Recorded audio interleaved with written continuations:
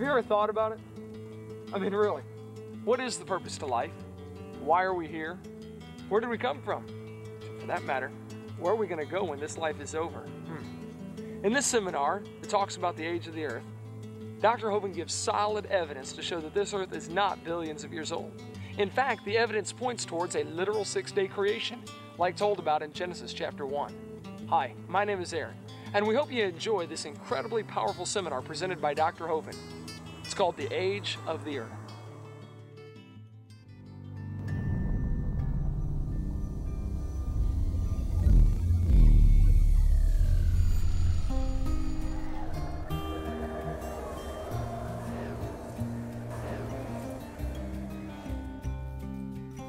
Well, thank you for joining us. My name is Kent Hovind. I taught high school science for 15 years, and now for the last 14 years, I've been an evangelist doing seminars on creation, evolution, and dinosaurs. And I don't like anybody sneaking up on me, so I'm going to tell you what I believe so you know what my seminar is going to be about here. I believe the Bible is the infallible, inspired, inerrant word of the living God. I believe it from cover to cover. I even believe the cover on mine. It says Kent Hovind. I believe that. And in case you don't know, the Bible is your basic instructions before leaving earth. You may want to read the book because you're going to be gone for a long time. Be sure you're going to the right spot. Now, one of my jobs as a Christian is to be ready always to give an answer to every man that asketh the reason of the hope that's in me. And I think in the last 200 years, the Christians have not done a very good job of answering the atheists and skeptics. And we've allowed this evolutionary philosophy to take over our school system, our, our legal system, our whole thinking process. And it's about time we do something about it. There are three things I try to accomplish in my seminar. Number one, I want to strengthen your faith in the Word of God. Number two, if you're not saved, I'm going to try to get you converted today. Number three, if you're saved and you're not doing much for the Lord, then I'm going to try to make you uncomfortable. Plain and simple, you know what I believe and where I'm coming from now, so that ought to make it easy. I won't sneak up on anybody. That's what I believe. Now, I need to warn you, just about every sin in the book is mentioned in my seminar series. It's likely that everybody's toes will be stepped on at least once. We recommend steel-toed shoes or a willingness to move your feet. you will need one or the other. All right, this is not my wife. That's just a picture of her. Be our 30th anniversary this summer. The first prayer I ever prayed in my life. I was about two minutes old. My mom said when I was delivered, they handed, her to, handed me to her, and she counted my fingers, make sure I arrived intact, and then she folded my little hands and said, Lord, would you please supply my boy a good wife someday? And man, did he do it. Wow. Been 30 years this summer. It's been awesome. I really appreciate my wife. She's a piano player. And I used to play a piano in a marching band. I just hurt my back so bad, I had to give it up. Uh, but uh, I'm kidding. We have three children. Uh, we live in Pensacola, Florida. We have three kids, one of each. my kids are 24, 25, and 26, a year and two weeks apart. It's called family planning where I come from. Let's see. Son uh, Eric is an evangelist. He travels and speaks on creation, and his wife uh, works in our finance department, and they made me grandpa last uh, September 2002. And then my son Ken Andrew, sitting back there at one of the cameras, uh, he and his wife made me grandpa again about uh, four months ago. And he works in our video editing department, and she works in our bookstore. And then my other daughter, my only daughter, I found someone two years ago to take over payments on her. And uh, she's my scheduling secretary, and her husband runs our shipping and receiving department. So we not only believe in nepotism, we practice it around our place. All six of them work in our ministry, and we're proud to have them. Now, we have in our ministry Dinosaur Adventureland. If you ever get to Pensacola, you have to stop and see the most unusual place on planet Earth. I got sick and tired of all the museums and science centers teaching evolution, so I said, let's just do one that teaches creation. So we have a science center, hands-on activities, a museum, and an activity theme park that'll blow your mind. Everything has science lessons and spiritual lessons. We had 10,000 visitors our second year open, shooting for a whole lot more this year. We have lots of kids come through. People come from all over the world just to see our Dinosaur Adventureland. We want to help start these all over the country. We think God ought to get the glory for His creation. Everything we do has a science lesson. Kids learn about science and they learn how to be closer to the Lord. That's the purpose of what we're doing here. Dinosaurs every place. Our ministry is sponsored by folks who love the Lord and love our ministry. When I started this ministry 14 years ago, I said, Lord, I'm not going to copyright my stuff. I'm not going to charge for seminars. And I'm not going to send out a letter every month begging for money. And if you don't supply, I'm going to quit. Plain and simple. And it's been really neat. The Lord just lays it on somebody's heart, and something comes in the mail, and the Lord has supplied. It's been 15 years that way now, almost, and it's awesome seeing the Lord supply. So come on down and pay us a visit. We have a lot of homeschool science classes that we offer. We teach homeschool classes there at our Dinosaur Adventureland facilities, and we have stuff on all kinds of different topics. We add more all the time. God's given us about 30 just amazingly talented people to work in our ministry, and we think you'd appreciate it. If you're driving through Pensacola, be sure to stop in. We've sent out about 100,000 tapes a year for the last couple years, videotapes. None of my material is copyrighted. Feel free to copy it and spread it to others. Of course, we'd prefer you get it from us and we can use the income for our ministry, but if you want to copy it, feel free to do so. It's just been amazing watching it grow for the last 14 years from nothing to what it is today. Now let's get started. There are four great questions that every single religion in the world tries to answer. Every religion, including atheism, which is a religion. You see, you have to believe there is no God. There's no way to know that. But every religion tries to answer these four fundamental questions of life Who am I? Where did I come from? Why am I here? And where am I going when I die? The way you answer these questions depends upon how you view the world. There are two ways to look at this world. Some people look at the world and say, you know, it's amazing, a big bang made this from nothing. That's called the humanist worldview. Other people look at the world and say, you know, there's incredible design, there must have been a designer. And that's called the creationist worldview. And those two worldviews are absolutely at war with each other. Somebody is wrong. And I enjoy showing them who they are. I do a lot of debates at universities. I've had three debates in the last nine days. Been traveling all over the country doing debates, and I've had 77 altogether now. Can't wait for my next one, but we can't find any more opponents. They don't want to defend the idea that we all came from a rock 4.6 billion years ago, I guess, and we're running out of, running out of opponents. But the idea that uh, evolution is true, I think, is not only silly, I think it is dangerous. But if the evolution theory is true, how would you answer the four fundamental questions of life? Who am I? And what am I worth? Uh, well, if evolution is true, you are nothing important. You're just a piece of protoplasm that washed up on the beach, and you're not worth a thing. Actually, you're part of the problem because you're one of the polluters of the environment. And the more of you we can get rid of, the better. See, that's normal thinking if evolution is true. Where did I come from? Well, if evolution is true, we all came from a cosmic burp about 20 billion years ago. Why am I here? What's the purpose of life? Well, if evolution is true, there is no purpose, so you might as well have fun. If it feels good, do it. Where am I going when I die? Hmm, well, if evolution is true, we're all going to the grave and we're going to get recycled into a worm or a plant. But the Bible says, in the beginning, God created the heaven and the earth. Now, if that's true, that puts a very different set of answers to those questions. That means we better try to figure out who God is and find out what He wants and do what He says. But boy, the devil doesn't like that. The devil came to Eve in the Garden of Eden. He said to the woman, Yea, hath God said, You shall not eat of every tree of the garden? Question mark. Did you know the first sentence out of the devil's mouth was a question to make Eve doubt God's word? He's still doing the same thing today. He wants you to doubt God's word. The second thing he said to the woman, he said, Ye shall not surely die. Now he's calling God a liar. The third thing he said was, Eve, if you eat off that tree, Ye shall be as gods. And right there is where the whole idea of evolution got started. It didn't start with Charlie Darwin, it started with Satan in the Garden of Eden. He wants you to think you can become a god.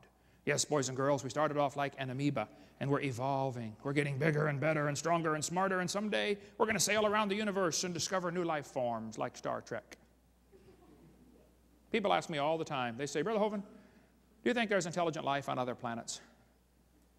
I say, no. I taught high school 15 years. There's not much intelligent life on this planet. Satan's a liar. Well, I'll tell you what, a lot of folks have swallowed that, though. The Mormon church teaches if you're a good Mormon, when you go to heaven, you get to be God. And if you're a good Mormon wife, when you go to heaven, you get to be eternally pregnant, producing spirit babies. My wife don't want to go. he said, that's not heaven, honey. And by the way, there are some great books to reach Mormons, and if you want to reach Mormons, get any of these books here on the screen. I'd recommend that 100%. Uh, this is a good website to reach Mormons, uh, utlm.org, Utah Lighthouse Mission, you want to get that awesome website on the ex- teaching, reaching the Mormons. I was shocked to find out a couple years ago, some of the major Catholic theologians of the past have taught that man gets to become God. Now, the average Catholic doesn't believe that, and they don't, they don't even know some of their leaders have taught that. But that's official doctrine that man can become God. The idea that man can become God came from the devil in the Garden of Eden. He's the one who wants to be God. Lucifer said, I will ascend into heaven. I will exalt my throne above the stars of God. I will sit upon the mount of the congregation in the sides of the north. I will ascend above the heights of the clouds. I will be like the Most High. You see, the devil wants to be God, but the job is not available. So he's all upset about that, and he can't be God, so he's mad at God. But he can't do anything to God, so he's mad at us because we are made in God's image. Did you ever wonder why the devil hates you so bad? It's because you remind him of God. So he lied to Eve and told her she could become like God. Hitler said, if you tell a lie long enough and loud enough and often enough, the people will believe it. He said they're more likely to believe a big lie than a small one. Now, if you want to get somebody to believe a lie, you have to do it like my two big brothers did with me. I have two older brothers. They've always been older than I am. But when I was about six years old, I was raised in East Peoria, Illinois, and I came running in for breakfast one morning, and I was the first one there for breakfast. And I got the last banana out of the bowl to put on my cereal. Well, a few minutes later, my two big brothers came in. They said, Hey, Kent, is that the last banana? I said, Yep, and I got it. How many of you have an older brother or sister? You know that wonderful feeling you get when you finally pull one over on them? Boy, that morning I had them. I had them and I knew it. They wanted my banana. But big brothers do not beg little brothers for anything. They either beat them up and take it away by brute force, or they lie to them and trick them out of it somehow. So my brother said, Hey, Kent, do you know how bananas are made? I said, No. I was only six years old. It's been proven in laboratory tests the brain doesn't even start to grow until kids are 18 to 20. How many parents can verify that one from raising kids? Yeah. I said, No, how are bananas made? And they said, Well, down in South America, they have these spiders that live up in the trees. And when they die, all their legs fold up, and then mold begins to grow on the dead spider legs. And a banana is actually made from moldy spider legs. I said, You guys are lying to me. You just want this banana because you know it's the last one.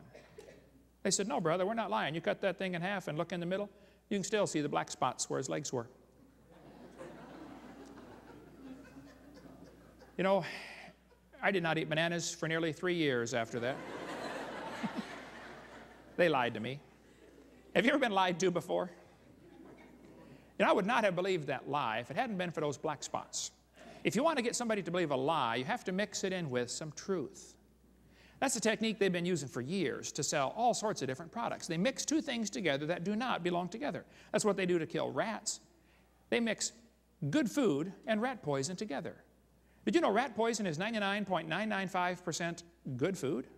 There's very little poison in rat poison.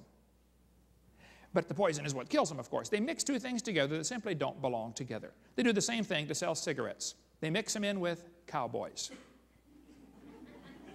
Have you stopped and thought about that? What is the connection between smoking Marlboro and cowboys? Do all cowboys smoke Marlboro? No. Do you have to smoke Marlboro to be a cowboy? No. If you start smoking Marlboro, do you become a cowboy automatically? No. You may smell like a horse, but you are not a cowboy.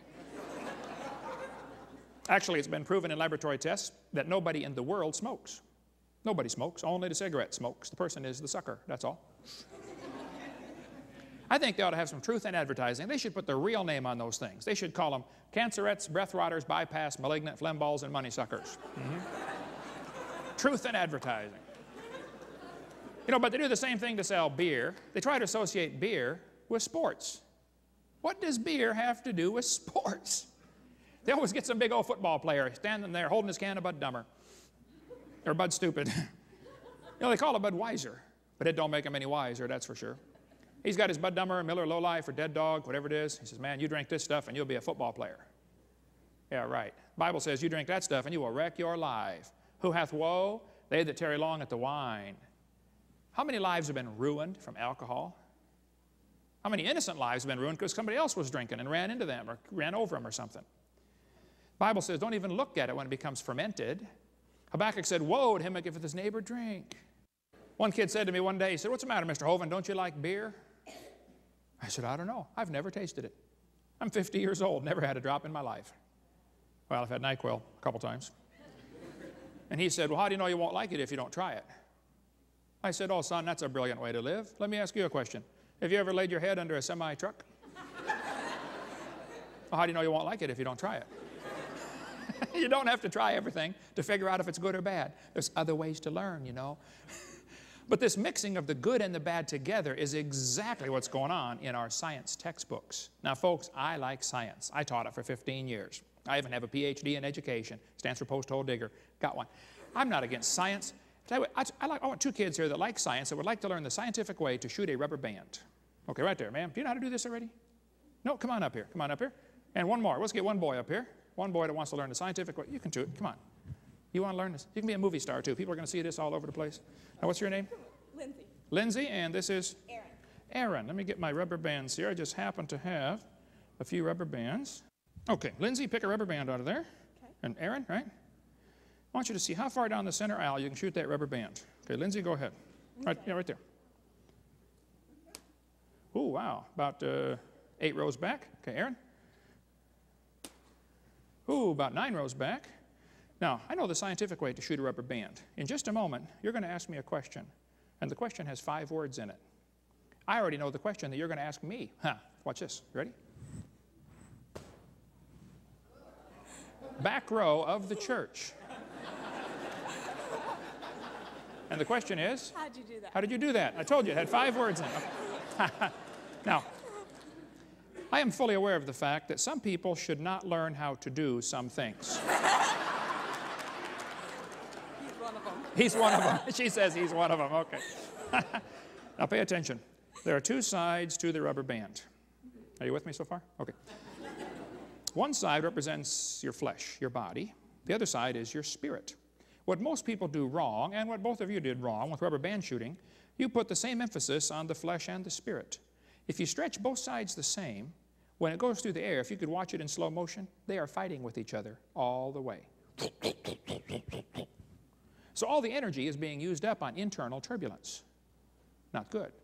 The secret to high-speed velocity through a fluid medium such as the atmosphere, which offers resistance, is to minimize, minimize or eliminate the turbulence. All I did differently when you weren't watching is I put one side tighter than the other, like this. This is tight, loose. It's okay, it's okay. okay. Now, what's going to happen if you can release it quickly enough? It takes a little practice, but it'll spin through the air, taking away the turbulence. So the spirit actually leads the flesh. So when I'm standing up here speaking, realizing I can hit anybody in the room, it's an awesome feeling. You can understand that, can't you? Yeah. Yes, you can. Hey, thank. Let's give him a big hand here. Have a seat.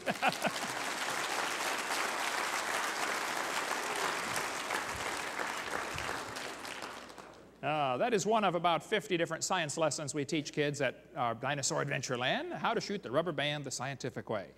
And some of you are not going to go very far in your life because you put too much emphasis on the flesh. Quit emphasizing the flesh so much and start emphasizing the spirit, and you'll be amazed what you can do for the Lord. When we get done here today, we're going to make some paper airplanes that'll go about 400 feet during the break time. You can get on our website and see how to make those under super long distance airplanes. They're pretty cool too. We like science. I'm not against science, folks, but I'm telling you, there's some poison mixed in with our science books.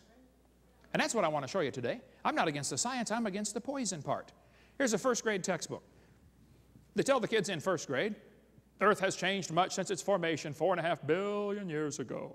Now just hold on a minute. Is the Earth four and a half billion years old? No, as we'll see in a minute. But if you tell that to a first grader, he's going to believe you.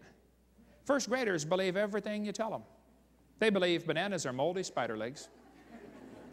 I did. And then tell them again in second grade, since its formation four and a half billion years ago, Earth has changed. Down here it says, life too has evolved on Earth. This word evolved is a very tricky word.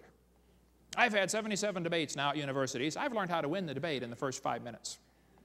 If somebody says, Do you believe in evolution? I simply say, What do you mean? Because there are six different meanings to that word. You let them define exactly what they mean, and you probably believe in it. Because one of the six meanings is indeed scientific, and I do believe in it. Five of them are not scientific, they're silly. But they mix them all together like it's some kind of package deal, and you got to buy them all at the same time. This is how they confuse the kids. It's so simple. Now, watch this. The first meaning of the word evolution would have to be cosmic evolution. Somewhere, somehow, time, space, and matter have to come into existence. The Bible answers that in 10 words. In the beginning, God created the heaven and the earth. In the beginning, that's time. Time has three dimensions past, present, future. You know, you can't be any place and be outside of time. It permeates everything. In the beginning, God created the heaven. Heaven is three dimensions length, width, height. And earth, matter has three dimensions solid, liquid, gas. A trinity of trinities in only 10 words. You know, you can't have any one of those without the other two. If you had matter but had no space, where would you put it? If you had matter and space but had no time, when would you put it? Those three come into existence simultaneously. The Big Bang Theory has to try to answer that. It's a dud, we'll talk about that in a minute. But you have to have what we call cosmic evolution. Secondly, there would have to be chemical evolution. If the Big Bang Theory is true, the Big Bang produced hydrogen and maybe some helium. Well, then how did we get all these other elements? People say, oh, it's done by fusion. Yeah, you can't get past iron with fusion. Better study that one out. Thirdly, we'd have to have what's called stellar evolution. The stars would have to evolve. Did you know nobody's ever seen a star forming? We see stars blow up all the time. It's called a nova or a supernova if it's a big one, but nobody's ever seen one form. One atheist I debated said, Oh, we see a star forming right now in Crab Nebula. I said, No, you don't. You see a spot getting brighter. You are assuming a star is forming. It could be the dust is clearing and there's a star behind it. Nobody's ever proven the formation of one star. And yet there's enough stars out there that we know about that everybody on planet Earth can personally own two trillion of them to yourself. Those are the ones we know about. We don't know about the ones that we don't know about. Fourthly, there would have to be organic evolution. Somewhere, somehow, life has to get started from non-living material. The evolutionist is stuck with a very embarrassing position. He still believes in spontaneous generation, even though it was proven wrong 200 years ago. They're way behind the time in their science. Then we'd have to have what we call macroevolution. This is where an animal changes to a different kind of animal. Nobody's ever seen a dog produce a non-dog. You may get a big dog or a little dog, but you get a dog every time. And it could be that the dog, the wolf, and the coyote had a common ancestor. I wouldn't argue about that. But they're the same kind of animal. And every five-year-old kid knows they are. Is anybody, anybody in here five years old? Who's five or six? Yes, sir. Way at the back. What's his name? Sal. Seth?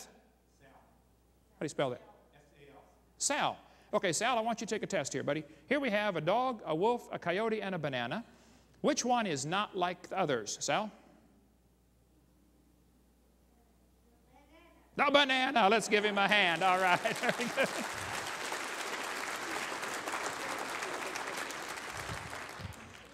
This kid's five years old. He can figure it out. We got college professors that can't figure it out. They think everything's all the same kind.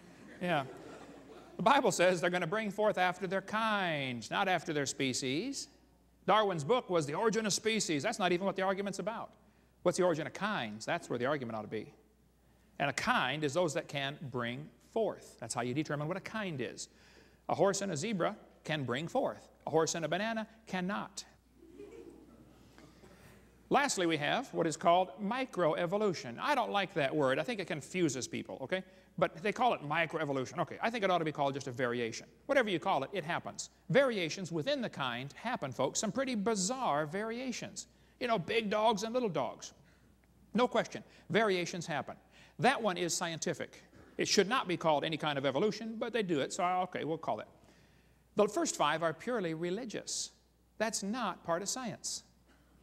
The teachers are taught in their teacher's manuals, be sure to stress that the earth is billions of years old. Make sure the kids believe this. Now, I happen to be a little old-fashioned. I think in science class we should be teaching science.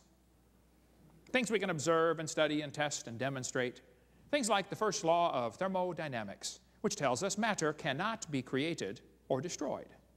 Well, everything's made out of matter, so if matter cannot be created or destroyed, how did the world get here? We're here, you know. So that leaves only two choices. Somebody made the world, or the world made itself. There's no other choice.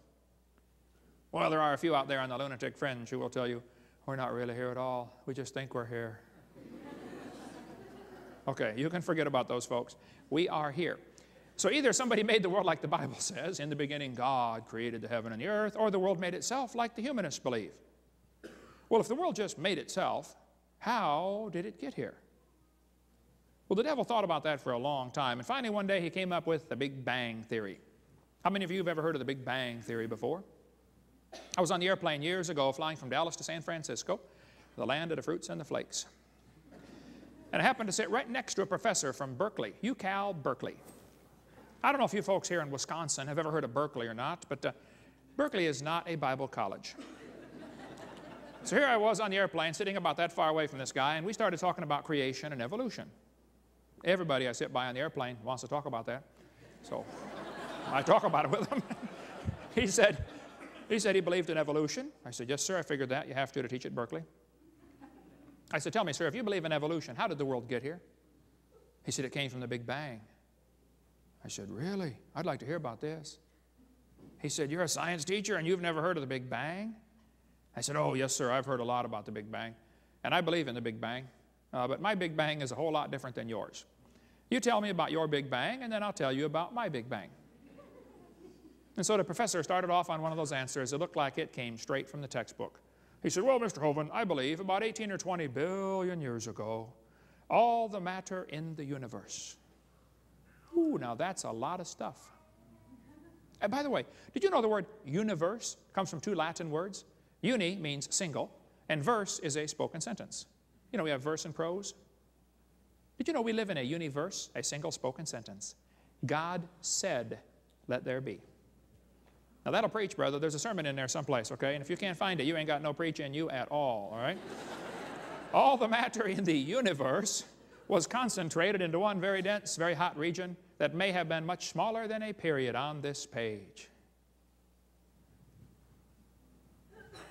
What? Everything in the universe squished into a dot smaller than a period on a page? Wow. That's one crowded dot. And heavy, too. Who held that thing up? By the way, this ain't the first time it happened, kids. This textbook says someday all of the matter and energy will once again be packed into a small area, no bigger than the period at the end of this sentence. Then another big bang will occur. It happens every 80 to 100 billion years. Did you know they cut down a tree to print that? Where's Al Gore when you need him? Hmm, that's what I want to know, yeah.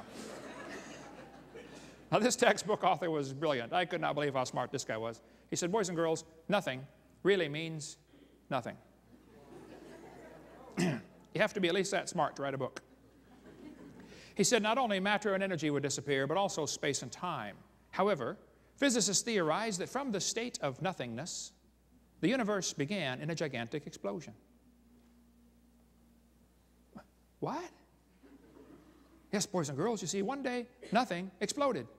And here we are. Oh, that explains it. That sure does. We could spend hours talking about the Big Bang Theory. Get my college class, CSE 101, if you want to get into a whole lot more. We took our seminar and stretched it out to 60 hours and chased every rabbit and kicked every dog. And we, it's a whole lot more stuff on the college class, CSE 101, 102, 103, and 104. Here's Discover Magazine from April 2002. They said, boys and girls, where did everything come from? Yes, right here it says, the universe burst into something from absolutely nothing. Zero, nada. As it became bigger, it became filled with even more stuff that came from absolutely nowhere. How is that possible? Ask Alan Guth. His theory explains everything. Wow, I got to meet this Alan Guth guy. Alan Guth said in Scientific American, he said, boys and girls, the observable universe could have evolved from an infinitesimal region. In the Greek, that's a dot. He said it's then tempting to go one step further and speculate that the entire universe evolved from literally nothing. Wow. Yes, boys and girls, you see, we all came from a dot, and the dot came from nothing. They call that science and put it in a science book. I think I'd call that a fairy tale and put it in the garbage. I said, Professor, well, what happened to your dot? He said, Well, Hovind, about 20 billion years ago, all the dirt in the universe was in this one little bitty tiny dot, and it was spinning real fast. This is what the textbooks teach. It spun faster and faster, and one day, boom, it exploded. And the pieces flew off, and they became galaxies and sun, moon, stars, and finally, people, and were nothing but stardust. I said, Sir, may I ask you a few questions, please? He said, Sure. What would you like to know? I said, Well, you told me 20 billion years ago, all the dirt got together for this big squish and the big spin and the big bang. Where'd all this dirt come from? Who made matter? He said, We don't know about that. I said, Okay, sir, now hold it. If I told you that I believe about 6,000 years ago, God created the heaven and the earth, then you're going to say, And where did God come from? And I don't know. But you said 20 billion years ago there was a big bang, and you don't know where the dirt came from. So basically, I believe in the beginning God, and you believe in the beginning dirt. Don't tell me my theory is religious and yours is science. Oh, no, no, no. They're both religious. Both creation and evolution are religious, but the news media and the textbooks try to make it appear as if this is an argument between religion and science. I did a debate in El Paso, Texas, and they said, religious and scientific leaders debate evolution. This is called slanted journalism. It was two religions debating each other, not science and religion. Evolution is a religion, not a science. Both views, both creation and evolution, are inherently religious. The difference is the evolution religion is tax supported. And they couldn't survive without tax support. I've been saying for years anybody that wants to believe in evolution should start a private school and teach those that want, who else wants to believe in evolution? It's got, it shouldn't be funded by public tax dollars. I mean, come on, it's a religion. Nothing but a religion. And by the way, these two timelines are the same information right here. I'll be referring to this throughout the seminar. The Bible teaches that about 6,000 years ago, God made everything. 4,400 years ago, there was a flood that destroyed everything. Jesus came 2,000 years ago. That's what starts our calendar. And here we are today, year 2003. On this chart, every inch is 150 years. If I was to make the 20 billion year chart at the same scale as this one, this chart should actually be 2,100 miles long to match this scale. That would be from Pensacola to Portland, Oregon.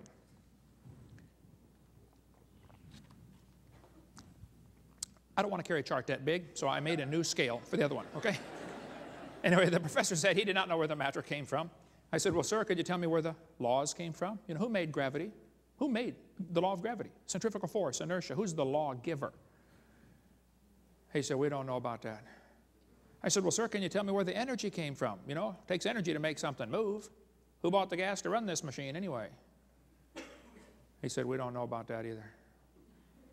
I said, Sir, may I ask you another question, please? He said, uh, Sure. What else would you like to know? Else? What do you mean, else? You haven't told me nothing yet. I said, Sir, does Berkeley have a merry-go-round? How many of you know what a merry-go-round is? You go round, round, round till you puke. You've been on them before? He said, No, we don't have a merry-go-round at Berkeley. I said, You ought to get one, man. You could learn some good science on a merry-go-round. If you put some fourth graders on a merry-go-round, are there any fourth graders in here this morning? Any, oh, man, all right. I like fourth graders. I spent the best five years of my life in the fourth grade. that was before they diagnosed ADD. We're going to put some fourth graders on the merry-go-round and get the high school football team out there to get it spinning clockwise as fast as it will possibly go. Now, if you have a digital watch, you may not know what clockwise means. Never mind. I'll explain it later. We're going to spin the merry-go-round clockwise. The kids are going to go through four phases. They start off in phase one. They're screaming at the football players. Come on, let's go. Faster, faster. Can't you go any faster? You get up around 30 miles an hour. The kids enter phase two, where they stop screaming. They just quietly concentrate on trying to hang on for dear life. you get up around 60 miles an hour. The kids enter phase three, where they start screaming again. But now they're screaming, stop, stop, please slow down. Don't stop, though. Keep going faster and faster. When you get to about 100 miles an hour, the kids enter phase four. That's where they begin to fly off the merry-go-round. now, if you watch this carefully, if the kids fly off the merry-go-round, and the merry-go-round is going clockwise, when the kid flies off, the kid will be spinning clockwise until he encounters resistance, like a tree or telephone pole. That's because of a law in physics known as the conservation of angular momentum. You see, if a spinning object breaks apart in a frictionless environment, which is what the Big Bang would have been, all the matter in one spot, no friction, the pieces that fly off are going to spin the same direction as the original object because the outside is moving faster than the inside. And we could talk all day about the Big Bang Theory and the conservation of all sorts of problems within our own solar system for the conservation of angular momentum. But the professor said, yes, I understand about the conservation of angular momentum. I said, well, good. Then would you answer me just one question? If the universe began as a swirling dot, shouldn't everything be spinning the same way? He said, yes. I said, well, did you know that uh, two, maybe three of the planets are spinning backwards? Did you know that eight of the 91 known moons are spinning backwards? Sir, did you know some of the whole galaxies are spinning backwards? Why? He said, that's interesting. I said, no, sir, that's more than interesting. That's kind of hard on your Big Bang Theory. He said, why do you think they're going backwards? I was hoping he was going to ask that. I said, Sir, it's very simple. You see, in the beginning, God created the heaven and the earth. And God did it that way on purpose, just to make the Big Bang Theory look stupid. and it is stupid, okay? We cover lots more on that in our college class, CSE 101. I do believe in the Big Bang, though, because the Bible teaches the Big Bang. It says, The heavens shall pass away with a great noise. In the original Greek, that's a big bang. So there's going to be a big bang. It just didn't happen yet. So, kids, if you go to school and some professor says, Do you believe in the Big Bang? You should say, Yes, I do, and you better get saved and get ready for it. The Big Bang is coming soon to a city near you. Big Bang Theory is a dud. They've known about it for a long time. We could talk for hours on the Big Bang Theory. It is simply ridiculous. Get the book, The Evolution Cruncher. It's 900 pages and it's five bucks. You can get it from our ministry and give those out to anybody you know that wants to learn a whole lot more about creation. The second law of thermodynamics is called, uh, tells us that everything tends toward disorder. Did you know everything is falling apart? If you leave something alone for a while, it's going to rot, rust, die, break down, or fall apart. Nothing gets better by itself. The Bible teaches that. The heavens are the works of thy hands, they shall perish. They wax old as doth a garment. Nothing gets better by itself.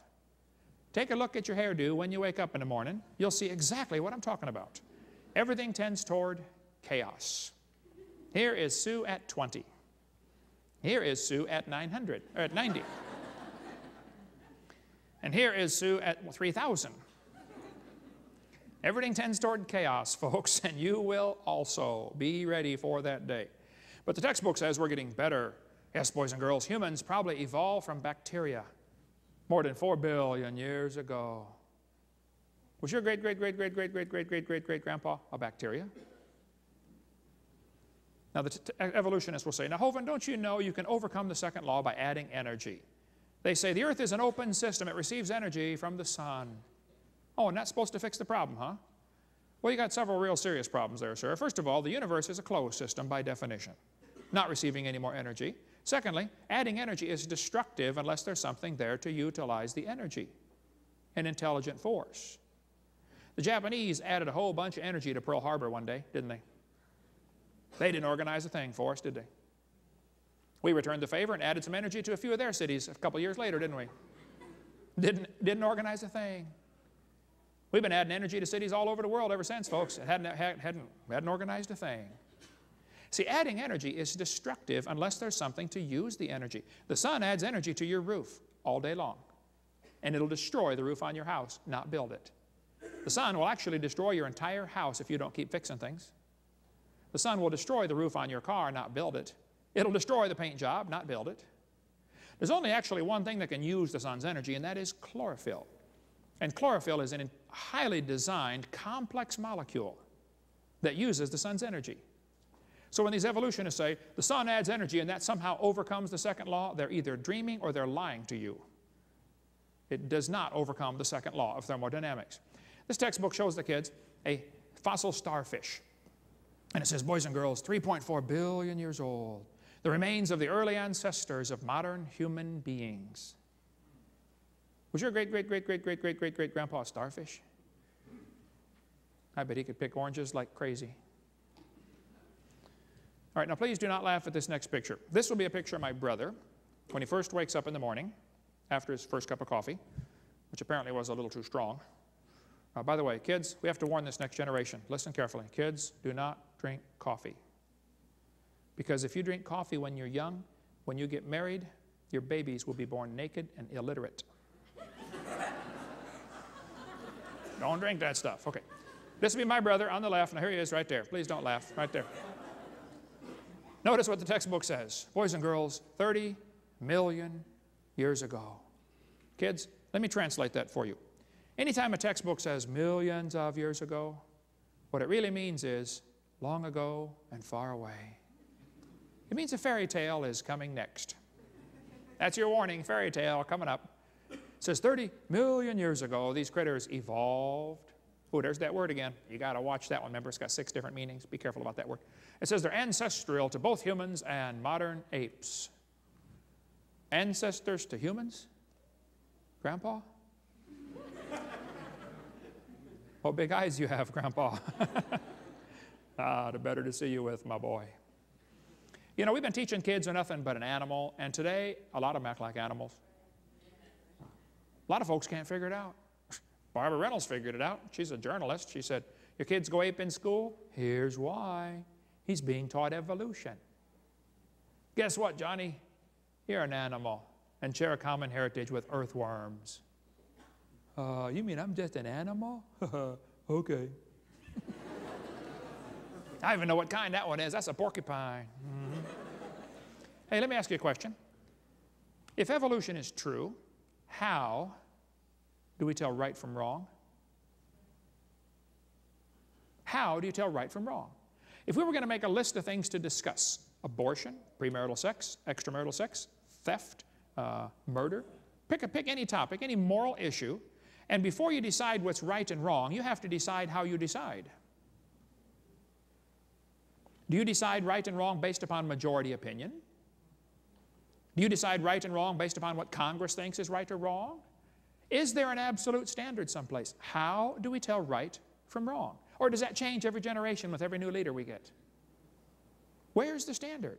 Have you noticed the rock music these days is so full of death and blood and destruction? Well, the Bible says, All they that hate me love death. How do you tell right from wrong? If evolution is true, there is no way to tell. One professor I debated said, There are no absolutes. I said, Really? Are you absolutely sure? ah, well, wait a minute. How can I be absolutely sure there's no absolutes? Yes, there are absolutes, folks. Thus saith the Lord. That's absolute. And the Lord said, Ye shall not make any cuttings in your flesh, nor print any marks upon you. Some people apparently don't know or they don't care what God's Word says. How'd you like to marry that? Whatever it is. Now, well, the problem in America today, and in the world today is we've lost our standard. We have no way of determining right from wrong. Get a bunch of carpenters together to build a building, but nobody can have the same ruler. Everybody gets a ruler that has a different standard. To one guy, this is an inch. The next guy, this is an inch. How's your building going to come out? Good luck. You have to have standards. We have a National Bureau of Standards to protect the standard meter, you know, the standard kilogram, the standard pound. You have to have standards. The problem is, in our morals in America, we no longer have any standards. We've thrown out the Bible and said, oh, well, if it feels good, do it. Well, look what you're going to get in your schools. We could spend hours talking about the loss of standards. We get into more of that on uh, videotape number five uh, about the uh, effects of this evolution teaching. Teachers don't seem to understand it's perfectly fine for you to teach creation science in public schools. There's never been a law against teaching creation in public schools. Two states, Arkansas and Louisiana, passed laws requiring that creation be taught. Now that's different. They required the teachers to teach creation, and the court struck both of those laws down. And then the ACLU, the American Communist Lawyers Union, said, see, you can't teach creation. That's not what the court said. The court said you cannot require that creation be taught. Even Stephen Gould said, no statute exists in any state to bar instruction in creation science. It could be taught before and it can be taught now. That's what he said after the 1987 when the Supreme Court struck down the Louisiana law, the Balanced Treatment Act. Now, if a teacher does get up in their class and they teach evolution, if they tell you, okay, kids, you started off like a slime and you slowly evolved to a human. You don't need to be a genius to figure out that teaching is going to destroy some kid's faith in the Bible. And anybody that spends their time destroying a child's faith better read what Jesus said. Whoso shall offend one of these little ones which believe in me, it were better for him that a millstone were hanged about his neck and he were drowned in the depth of the sea. Anybody that teaches evolution is in serious trouble when they stand before God. I don't want to be close to you on Judgment Day. You are in big time trouble. Bible says, Be not many masters, knowing we shall receive the greater condemnation. James 3. Back in the 50s, the average textbook in America had very little evolution in it. It really wasn't talked about much. And then in 1957, the Russians beat us in the space race. They launched Sputnik. And Americans panicked. How many of you remember the panic in America when they were beating us in the space race? People were building bomb shelters. I mean, the whole thing. It was really serious, wasn't it? And somebody said, you know, the reason the Russians are ahead in science is because they teach evolution in their schools. What does evolution have to do with putting up a satellite? Now, the reason they were catching up or beating us in science is because we had spies over here sending them all our information. I spoke in Russia. Trust me, you don't want what they've got. They've got a slogan over there. They say, What one American builds, 10 Russians cannot understand. What one Russian builds, 10 Americans cannot lift. Build it all out of concrete and steel, you know. In 1959 was the 100 year anniversary of Darwin's book coming out. And so somebody said, wow, we have to get more evolution in the textbooks. So they lobbied Congress, and as far as I can figure out, the first time the government got involved in producing textbooks was in 1959 in the early 60s. It's interesting, the um, number of words teaching about evolution jumped from two to 3,000 to 33,000 just in a few years. Evolution became the state religion. By 1963, prayer was taken out of our schools. Anybody remember that? Madalyn Murray O'Hair? By the way, since 1963, the number of words about evolution has diminished because the number of words in the textbook has diminished. The overall teaching has been dumbed down. The percentage has remained consistently high. 1963 is when sexually transmitted diseases began to skyrocket for 10 to 14 year olds. Since 1963, the number of uh, kids with premarital sex have increased erratically since 1963. Unwed birth rates have gone up tremendously since 1963. Pregnancies have gone up over 500%. This is for 10 to 14 year olds. The difference between those two numbers are those being aborted. We get into more on that on video number four. Now, one third of all the kids born at the hospital are born to a couple that is not married. Illegitimate children. And if you are one of those, you listen carefully.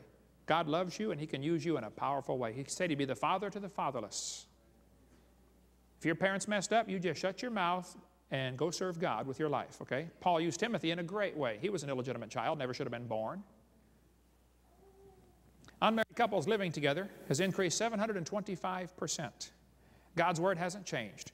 Whoremongers and adulterers, God will judge. He said, Thou shalt not commit adultery. That's one of the Ten Commandments, not the Ten Suggestions. And by the way, Jesus said, if you even look and lust, you've committed adultery already in your heart. By the way, ladies, I know you want to understand this, but that's why it's important how you dress. My daddy always said, if you're not in business, don't advertise. You figure it out, okay? Divorce rates have gone crazy in this country. Violent crimes have increased nearly 1,000%. I'm not that old, but I remember the days when you did not have to lock your house. Anybody else remember those days? And you left the keys in the ignition all the time. You never took them out because you might lose them. And you go to the average high school, and half the pickup trucks in the parking lot had a loaded rifle hanging in the back window. And the truck wasn't even locked, and nobody got shot in school in those days, did they? Probably didn't hear about this, but the kids at Columbine High School that did all the shooting were very strong believers in evolution. They did the shooting on Hitler's birthday on purpose to commemorate Adolf Hitler. They shot Isaiah Shoels just because he was black. Hitler hated black people. More on that on video number five. And right after the shooting, Rosie O'Donnell got on her program and said, See, we need more gun control. Uh, Rosie, those kids broke 18 gun laws going into that school. You think two more gun laws would have stopped them?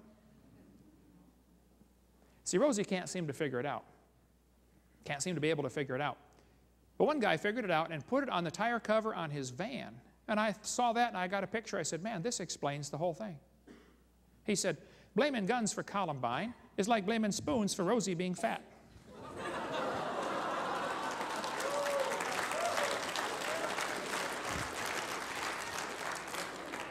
Uh, it's not the spoon's fault, Rosie, okay? And it wasn't the gun's fault either. Okay, we get a lot more on gun control on video five. Very politically incorrect. You don't want to watch that one. Uh, SAT scores have plummeted since 1963. Actually, in 95, they had to dumb down the test. They made the test easier to make the kids look smarter. Teen suicide rates gone crazy in this country. Now listen, if I told you, if you kiss a frog, it'll turn to a prince. You say, no, frogs don't turn to princes. How many of you ladies got your husband by kissing a frog? Come on now, be honest. Looks like only two. Okay, good. Uh, it doesn't happen very often, but in the textbooks it does. Yes, boys and girls, we started like an amoeba, and we slowly evolved to a frog. There's Grandpa. And then very slowly became a prince. You know, they're still teaching the same fairy tale. The only difference is if the frog turns into the prince, quick, prince quickly, we call it a fairy tale. But if the frog turns into the prince slowly, we call it modern science. The only difference is time. See, boys and girls, the KISS won't do it now. Today you have to have billions and billions of years. How many have ever heard that expression before? Billions of years ago. Yeah, it's in the magazines and National Pornographic, uh, Geographic, I mean. Billions and billions of years ago. They teach it like it's some kind of fact of science, you know. Here's a fourth grade textbook. Millions of years ago. Now, kids, listen. If anybody ever says, millions of years ago, just say, uh, excuse me, were you there? They'll say, no, of course I wasn't there. And then say, now, teacher, do you know the earth is millions of years old? Or is this what you believe? Is this really part of science? You see, science is things we can observe and study and test. Sometimes people say to me, Well, Hovind, were you there when God made the world? I say, No. And I admit mine's a religion. Now, why don't you admit yours is a religion? Hmm. And once we've both admitted we have a religion, then answer my question why do I have to pay for your religion to be taught in our school system? Hmm. That'll shut them up. Science is things we can observe and study and test. And the professors I debate will say, Well, no, we can't observe the earth is millions of years old, but everybody believes it is. No, they don't. Most Americans think the earth is less than 10,000 years old and God made it. Only 4% are atheistic. I think that 4% ought to go start themselves a private school and teach evolution to anybody that wants to pay and come learn it. And they ought to get it out of our public school system. That's my humble, totally unbiased opinion. That's right.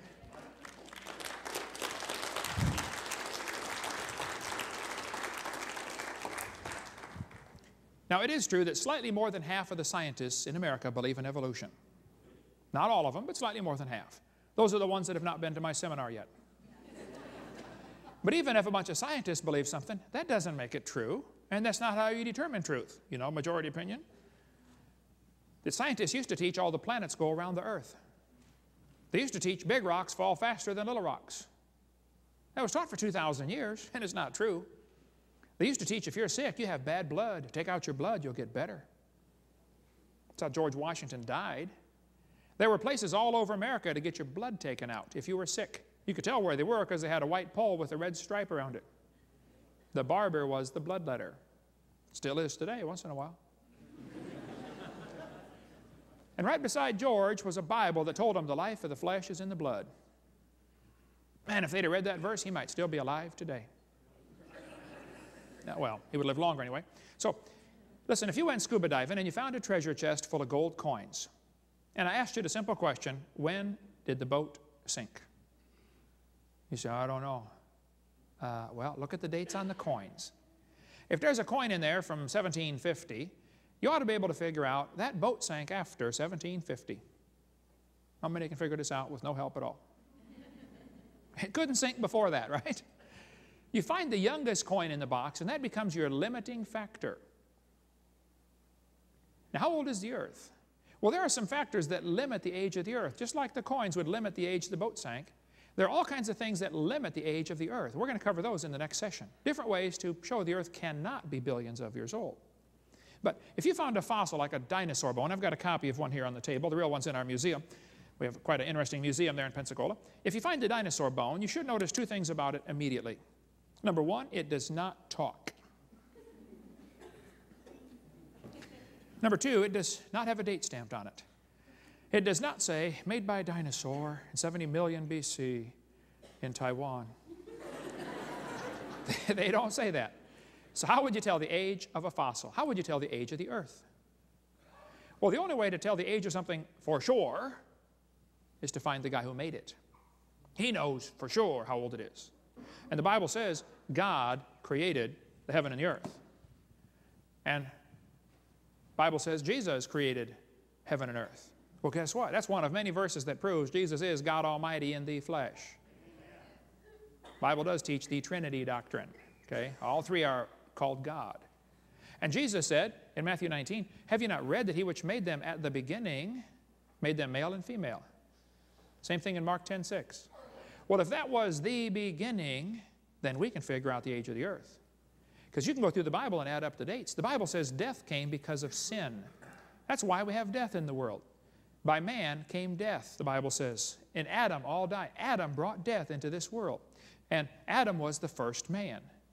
And Adam lived and with Eve. Eve was his wife, and Eve was the mother of all living. Hmm. And Adam was 130 years old when his son was born. And that boy was 105 when his son was born. And that boy was 90 when his son was born. If you go through the Bible and add up the dates, you can make a graph like this one here.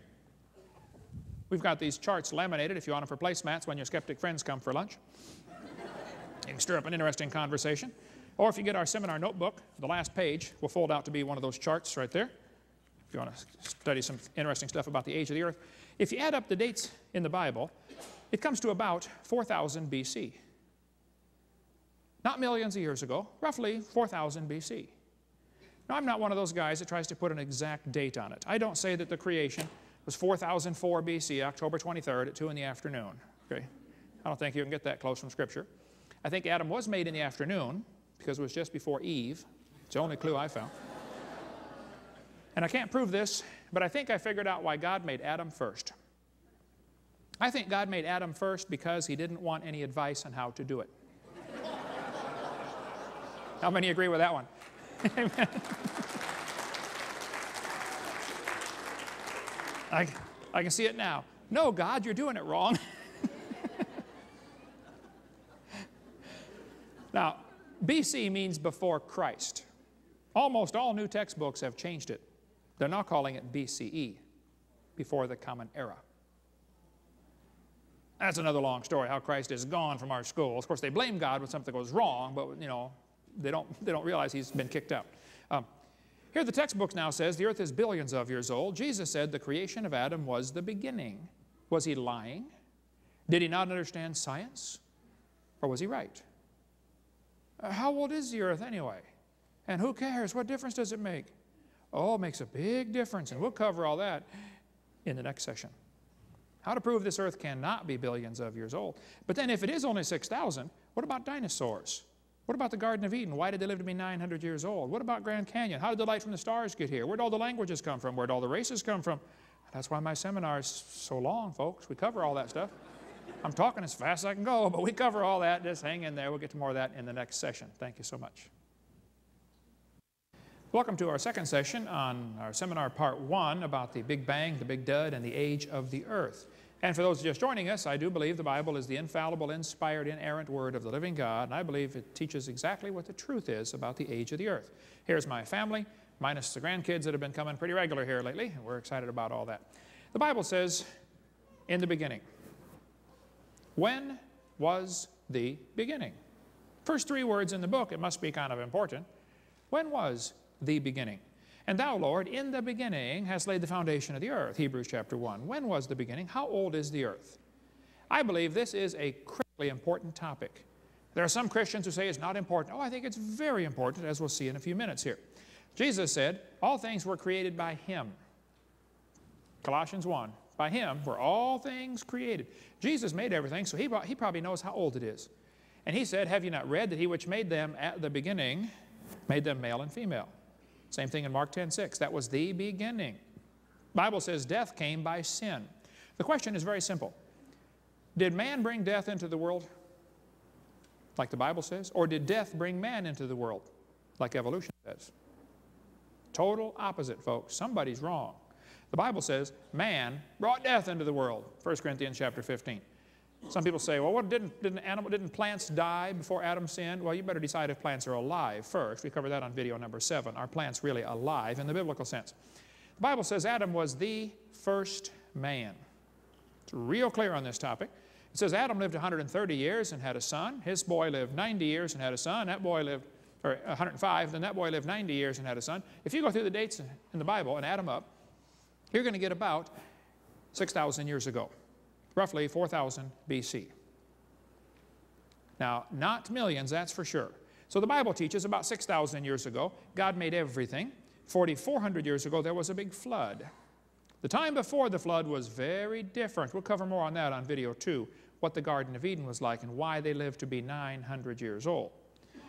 But the fact is, the Bible dates add up to about 6,000.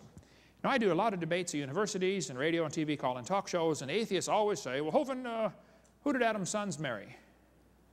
Well, that's a good question. Who did they marry anyway? The Bible says Cain went out from the presence of the Lord and dwelt in the land of Nod on the east of Eden, and Cain knew his wife, and she conceived and bare a son. Well, who's his wife? Well, it doesn't say he found her there. Well, who did Seth marry anyway?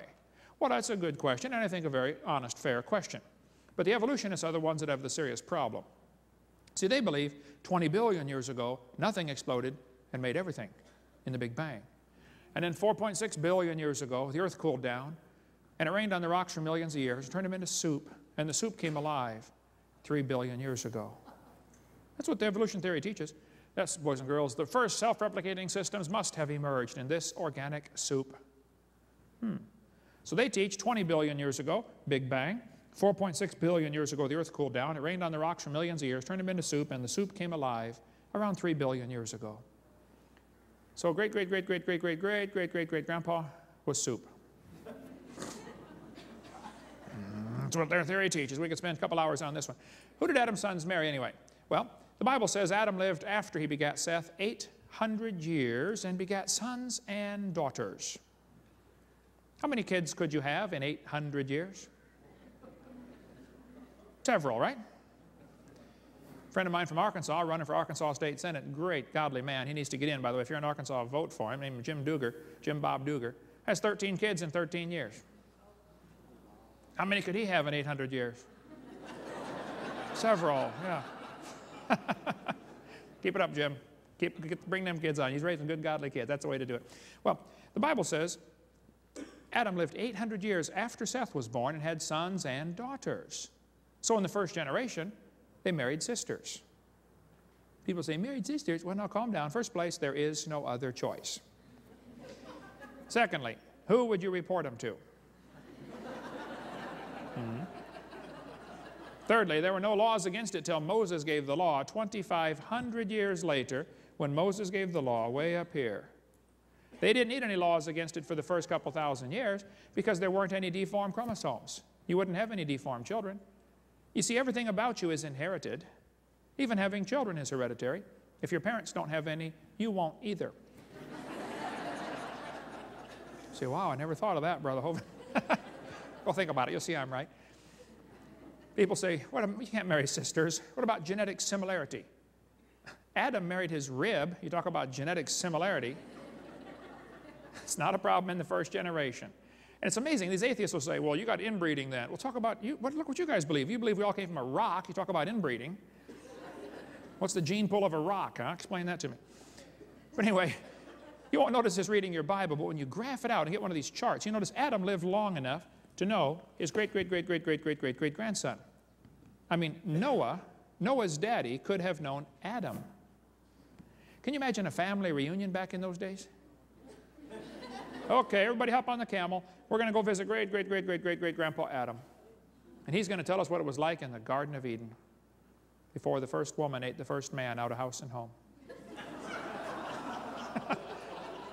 Now, I do tell a lot of Adam and Eve jokes, okay, because I ha happen to like Adam and Eve jokes. I happen to like jokes in general, but one lady said, just where would you men be without us women? I said, in the Garden of Eden.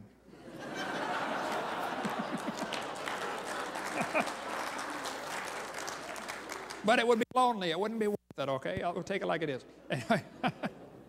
now, you also won't notice this reading your Bible. When you look at the chart, you notice Noah's son Shem lived after the flood long enough to know Abraham, Isaac, and Jacob.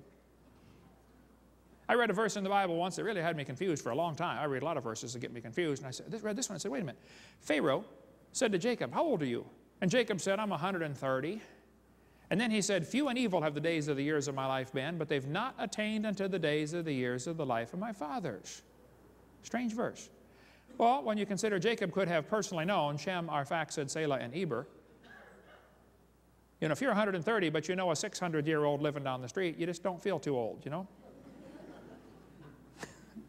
People say the Bible's handed down generation after generation. Oh, you don't know what you're talking about, first of all. God inspired it and He preserved it. Secondly, it's only, it's all, book of Genesis is written by 10 different eyewitnesses. There are 10 different authors to Genesis. We cover all that on seminar part 7, question and answer, who wrote Genesis. But here, the textbook says the earth is billions of years old. Jesus said the creation of Adam was the beginning.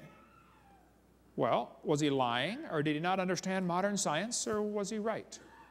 How old is the earth? Textbooks in your town teach the kids billions of years ago this happened, right? Or millions of years ago. They just throw these numbers out like they're some kind of fact. Billions of years ago. Even some Christians are going around claiming the earth is billions of years old. I debated Hugh Ross for three hours on the John Ankerberg show. You can get that videotape series, a whole series of tapes, me against Hugh Ross. He says the earth is billions of years old. I say, no, it's not. Quite interesting conversation there. Who cares about the age of the earth? Well, I think this teaching of billions of years is going to put death before sin. And now you have a heresy. We cover lots more on that on the college class, CSE 101, or on our seminar part two. Uh, Bible says death came because of man. Man brought death into the world. Well, who cares about the age of the earth? Well, number one, I think the credibility of Genesis is at stake. The question is very simple. Can the average person read that book and understand it? Or do we have to have some guru what it means? If you're in a situation where you have to have somebody tell you what that book means, you're probably in a cult. I get real nervous when somebody gets up in front of their crowd and says, well, it says in the original. In other words, you've got to have me to tell you what this really says because you you're not capable of finding it on your own. That makes me just nervous, I'll tell you right now, okay? I think the average person can read the book and understand it. We don't need anybody to tell us what it says. Secondly, the credibility of Jesus is at stake. Since he quoted that book 25 times, he must have believed in Genesis. Thirdly, nearly every other book in the Bible refers to Genesis. This is a very important topic. Now, the guys who believe in evolution really care. Because if you take away billions of years, their theory looks real silly. Jesus said, had you believed Moses, you would have believed me. He wrote of me. Let's look at some scientific ways to show the earth cannot be billions of years old. In 1999, this article came out in the newspaper announcing that the world's population had crossed over the 6 billion mark. If you don't know how much a billion is, don't worry about it because Congress has no idea either. But in 1985, there were 5 billion people on planet Earth. In 1800, there was only 1 billion people here. Almost all textbooks agree, and almost all people who study this agree, there were around a billion people around 1800. It's just simple scientific fact. And everybody agrees the population is growing rapidly. Nobody argues with that. But the world is not overcrowded. Don't fall for that overcrowded propaganda going around the schools. The world's not overcrowded. The whole world's population today would fit inside Jacksonville, Florida, twice. That one city has 25 billion square feet. The world's not overcrowded. Have you driven across Nebraska? or Kansas, or Wyoming, or Montana, or drive across Wisconsin? Folks, the world's not overcrowded. You got to fly out west like I do all the time. And it's not, look out the window, it's not overcrowded. Hey, if it's overcrowded where you are, move. Places are not overcrowded, okay? Figure it out. not overcrowded, come on. But back when Jesus was here, there was about one quarter billion people on planet Earth. 250 million. It sure looks like from the population growth curve that the whole population today started about 4,400 years ago. Well, that's interesting. The Bible teaches God made everything about 6,000 years ago. 4,400 years ago, there was a big flood. Eight people survived, Noah's family. If you start with a population of eight people, having kids and grandkids and great-grandkids, you can get yourself a population of five or six billion in a few thousand years. Now, if you believe in evolution, you got a problem. Because you think man's been here for three million years. Wow. In three million years, the population would have grown. Right now, there would be 150,000 people per square inch. That would be crowded. No, man's not been here for no three million years. God told Adam and Eve, be fruitful and multiply and replenish the earth. Have lots of kids. Fill it up. Have a big family. But Satan wants to destroy God's plan. God formed the world to be inhabited, he told us in Isaiah 45. That's why he did it, inhabit it. But we got folks like Jacques Cousteau who said we need to reduce the population of the earth. He said we need to eliminate 350,000 people a day to save Mother Earth.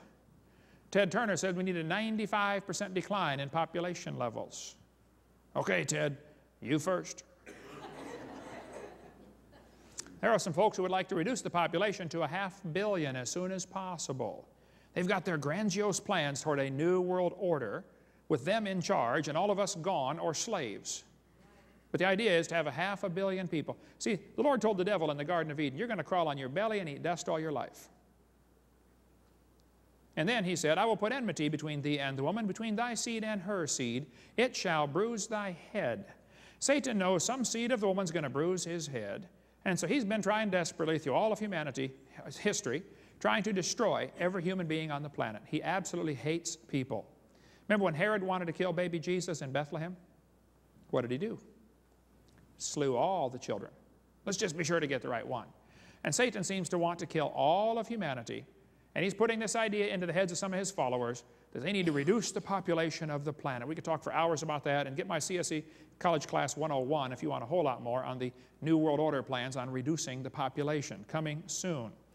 Well, regardless what happens to the population in the future, the fact is the chart today shows man's only been here about 3,000 or 6,000 years or less. 4,400 would fit fine with the population growth. If you go outside the city of uh, Atlanta, Georgia, to the town of Elberton and go north about seven or eight miles, you'll see the Georgia Guidestones out in the middle of no place. They mine quite a bit of granite there. The Cherokees called this area the center of the earth. They thought that was the center of the earth right there. Well, a bunch of guys who don't know much said, wow, let's set up big rocks here. And they put these big rocks up there with 12 different languages on them that says the Ten Commandments for the New World Order. Commandment number one for the New World Order is maintain humanity under one half billion. They think we need to reduce the population of the planet as soon as possible. It's interesting, they ran an article here recently. They said sometime in the past, man's population of man went through a bottleneck. They said it dropped down to only a few thousand people about 70,000 years ago. Well, I think they're getting close to the truth. I think it dropped down to eight people about 4,400 years ago. Yeah. The galaxies up there are spinning, but the stars on the outside are going faster than the stars on the inside the galaxies gradually lose their spiral shape. So the question is, if they're billions of years old, why are they still spiral shaped? Why are there spiral galaxies? Well, to the Christian creationist, this is no problem. They're not billions of years old, real simple. Stars are blowing up once in a while. We call it a nova or a supernova. And yet there's only about, it happens, seems to happen about every 30 years, kind of as a rough average. When they look through the heavens, though, they find less than 300 supernova rings. That's only a few thousand years worth. Why aren't there millions of them? Hmm?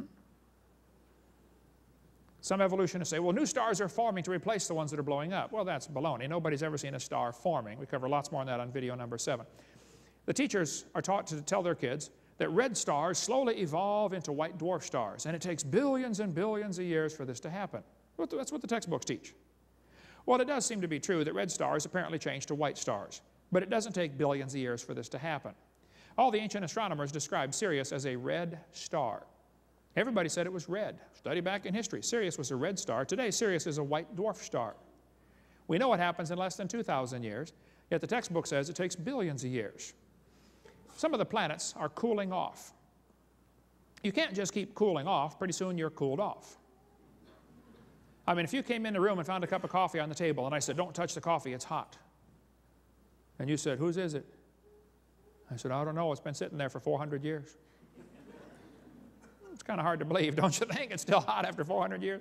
These planets cannot be billions of years old. Jupiter has a moon called Ganymede, but it still has a strong magnetic field indicating a hot inner, inner core. Even the atheists will admit it should have cooled off billions of years ago. Well, it's not billions of years old. Figure it out. Saturn has rings around it, but the rings are slowly moving away from the planet. Saturn's rings are indication that it is not billions of years old. The moon is going around the earth. How many knew that already? The moon goes around the earth? Okay. Did you know as the moon goes around, it's gradually getting further away? We're slowly losing the moon. It's only a few inches a year, no big deal, nothing to worry about. Plus, there's nothing you can do about it anyway. Uh, but the moon is getting farther from the earth every year. Now, kids, this is going to be complicated, so listen carefully. The moon is getting farther from the earth every year. So that means that it used to be closer. How many can figure this out with no help at all? Okay? Well, if you bring the moon in closer, you start to create a problem because the moon causes the tides. Now, you folks up here in Wisconsin probably don't worry about the tides. But in Pensacola, where I live, you worry about the tides. If you brought the moon in closer, the tides would be higher. There's a law called the inverse square law. If you brought the moon into one third the distance, you take the one third, inverse it, and square it, it's nine times the gravitational pull.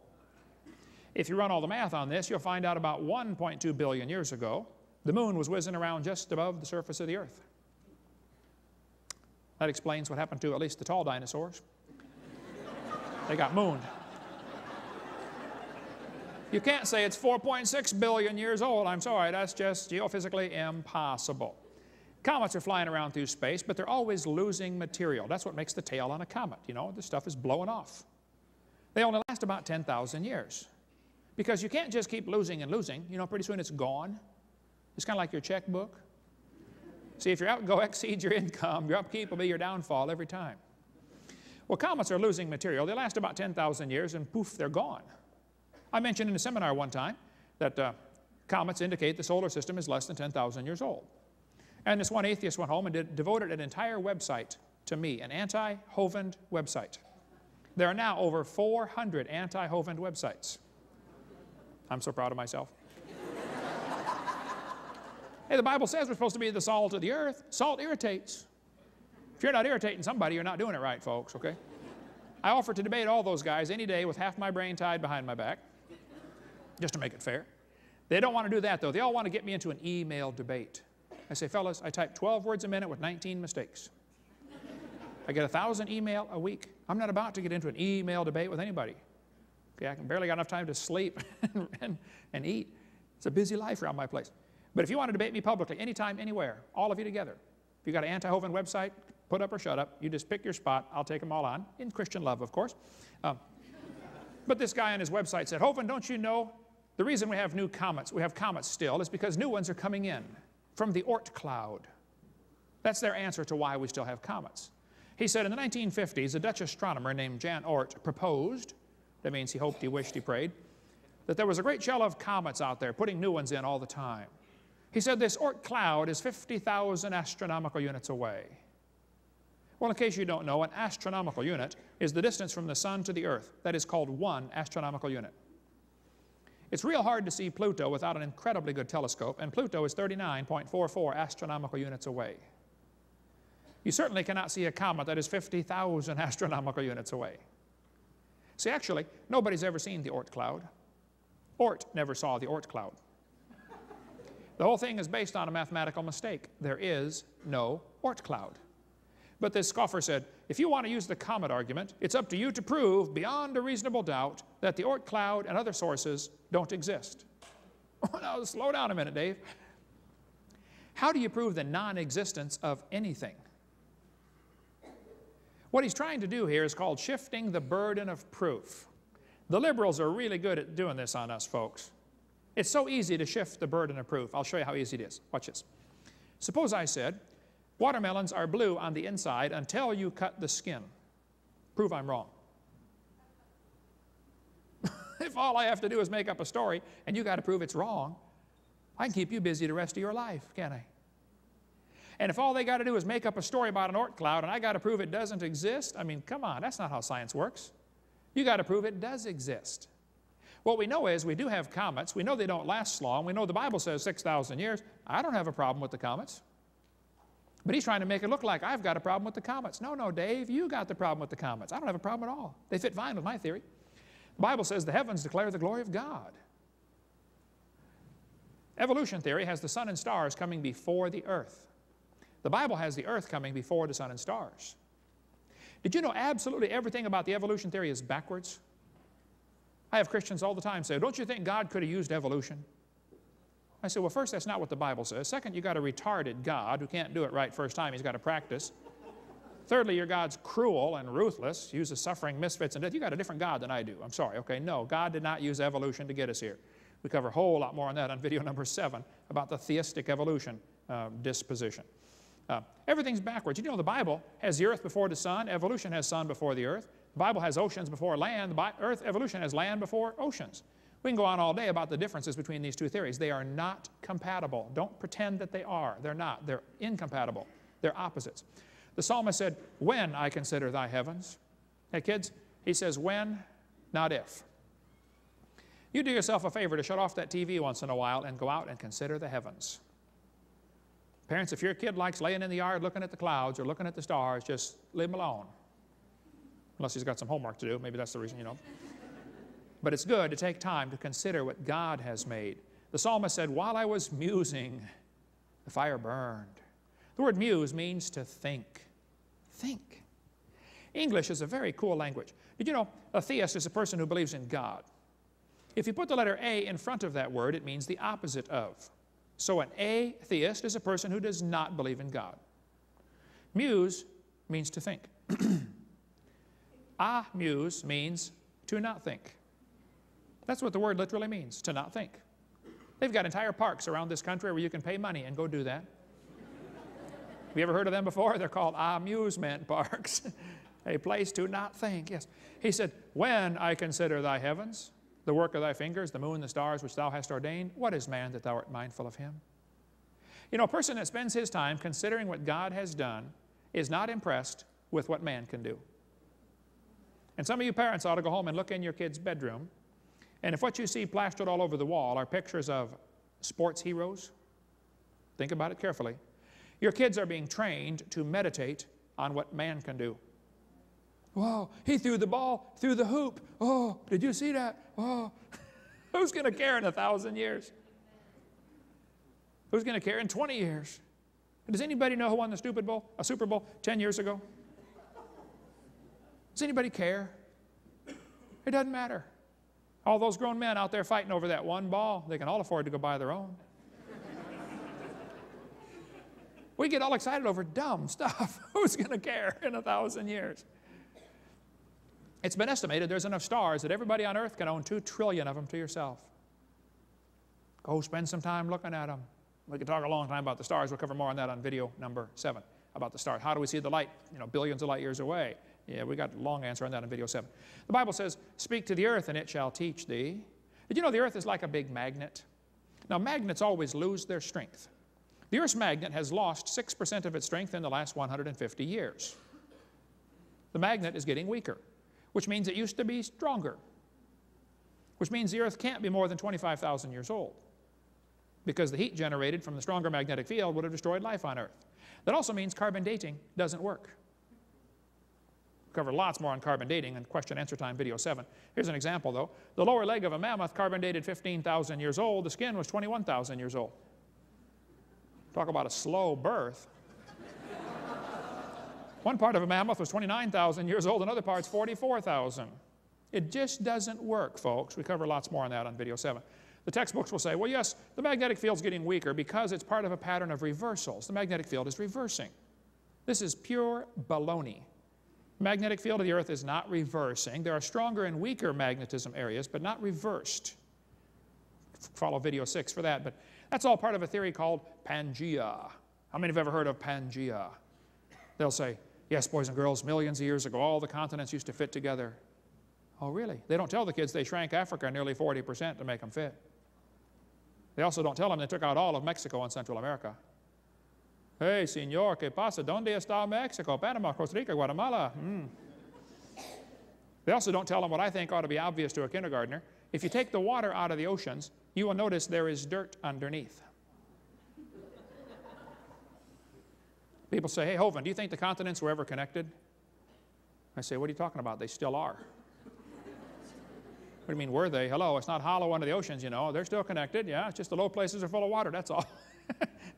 Uh, what a dumb theory. We cover more on that on video six. I think the continents are moving some, no question. Okay, I like Walt Brown's hydroplate theory myself. I think that explains the whole thing. We cover that more on video six. Okay, the Earth is spinning about 1,000 miles an hour at the equator, but the Earth is slowing down. The Earth slows down enough that every once in a while they have to add a tick to the clock to put the clocks back on schedule. New Year's Eve, 1990, they said we have to add a tick to the clock because the clocks are off by a second because the Earth is slowing down. They said the Earth slows down a thousandth of a second every day. 1992, did, they did it again. Astronomy magazine said Earth's rotation is slowing down. June is going to be one second longer than normal. We're going to have a leap second. Now, most people have heard of leap year, but many people have never even heard of leap second. even though we have one every year to year and a half. We have to have a leap second because the Earth is slowing down and you're putting the clocks back on schedule. Now, kids, this is going to be complicated, so listen carefully. The Earth is spinning, but it is slowing down. How many can figure this out? Okay? Which means it used to be going faster. How many can figure that out? Okay. Now, if you go back 6,000 years, this is not a problem. The Earth was spinning a little faster when Adam was here. He wouldn't notice. He didn't have a watch anyway, as far as we know. But some of these guys would like me to believe everything is billions of years old. Ooh, now you go back a few billion years, the Earth was spinning real fast. Your days and nights would be pretty quick. Get up, go to bed, get up, go to bed, get up, go to bed. You'd never get nothing done. Centrifugal force would have been enormous. The winds would have been 5,000 miles an hour from the Coriolis effect. And you think the dinosaurs lived 200 million years ago? Ooh, man, I know what happened to them.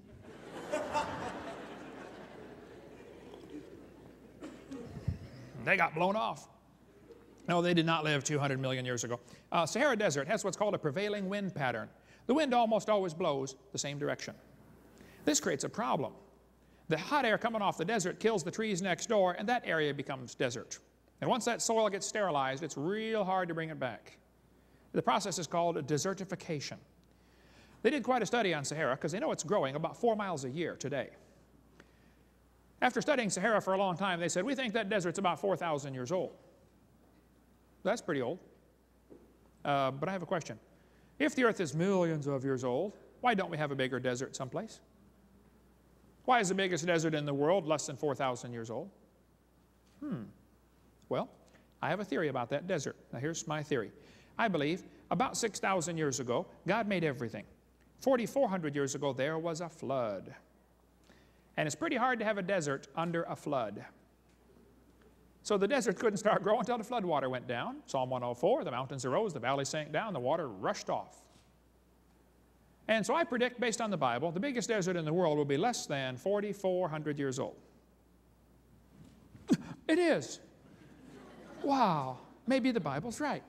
Did you know when they drill into the ground, sometimes they hit oil? The oil often is under incredible pressure, up to 20,000 pounds per square inch. It'll come squirting up out of the ground, like a big zip. 20,000 psi.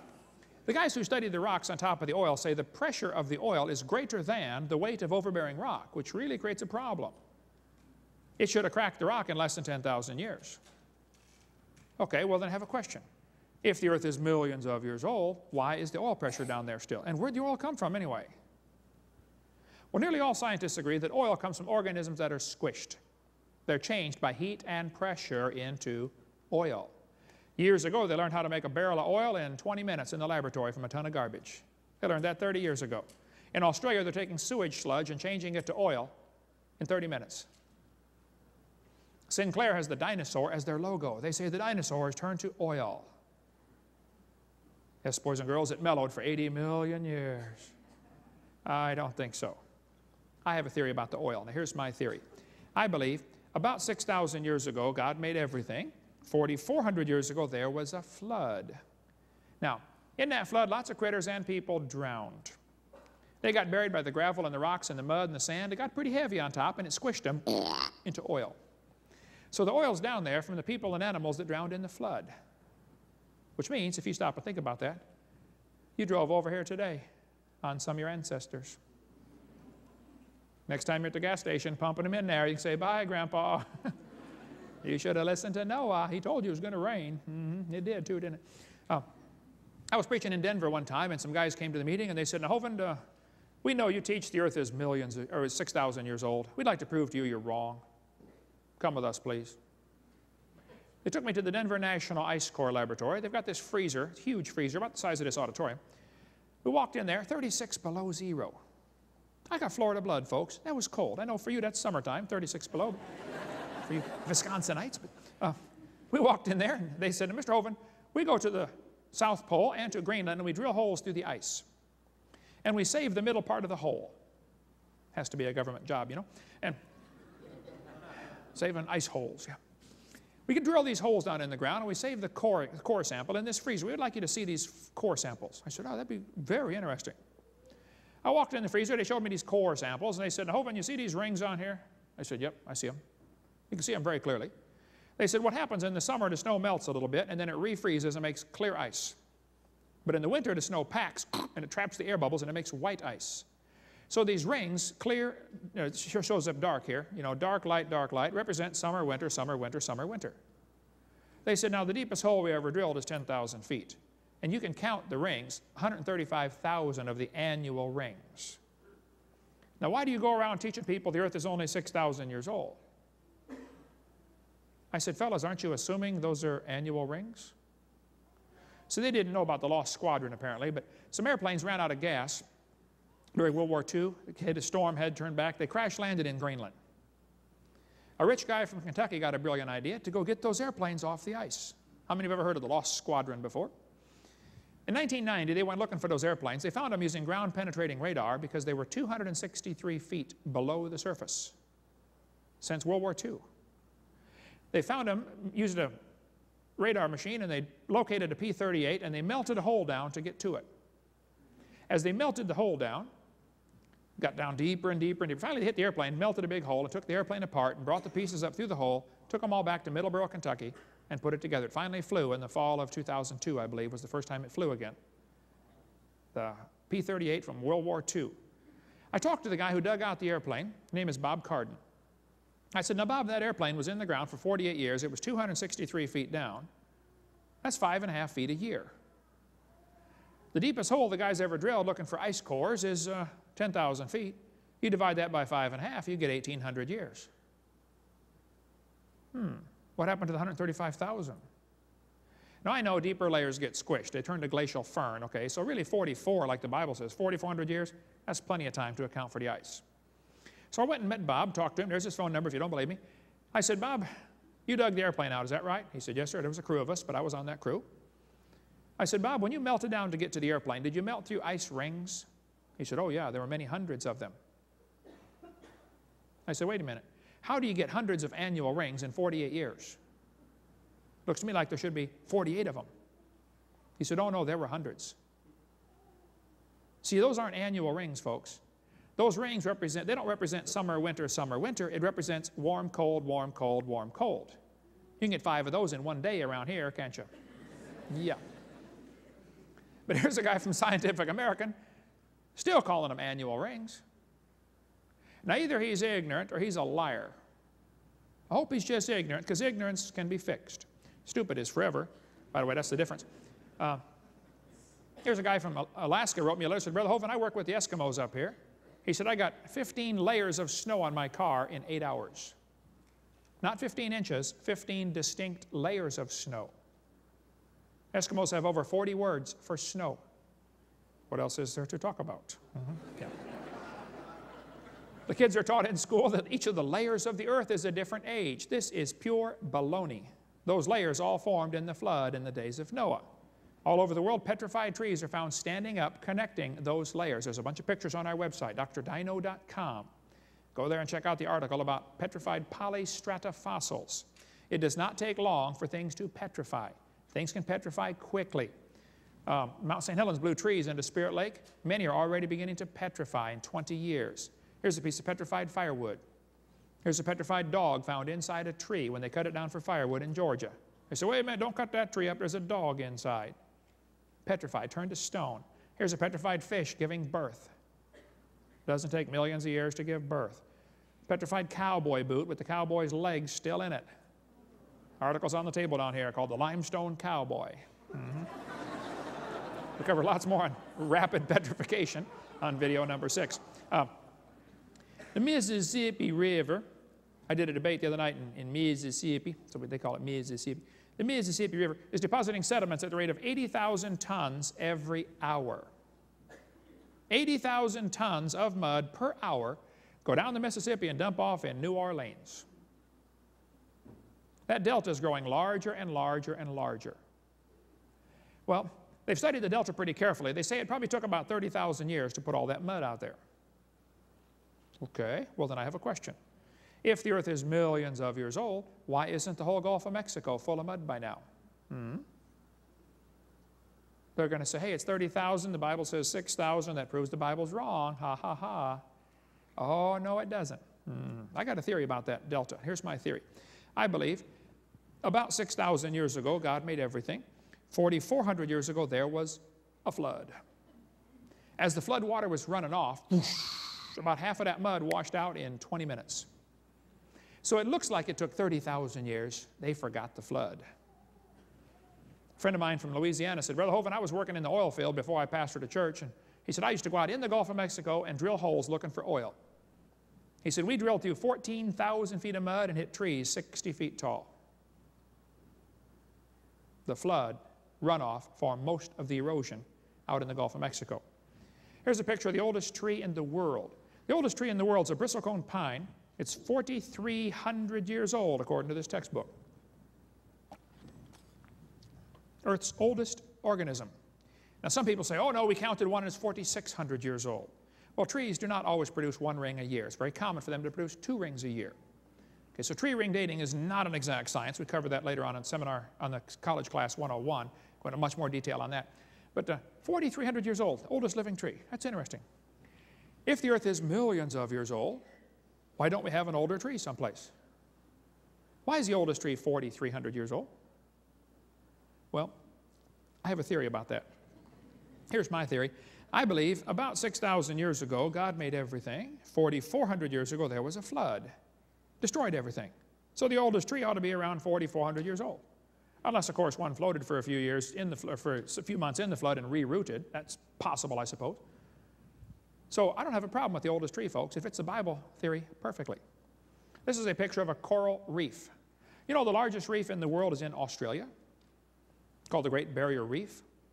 I had a call from a church in Brisbane. They said, Would you like to come preach over here? I said, I need to pray about this. He said, Yes. I got to go take my family to Australia. I got to go scuba diving with my daughter at the Great Barrier Reef. It was incredible. During World War II, some of the reef was destroyed by ships and anchors and bombs and stuff like that. So the environmentalist wackos went out there to see how fast it grows back. They watched it grow for 20 years.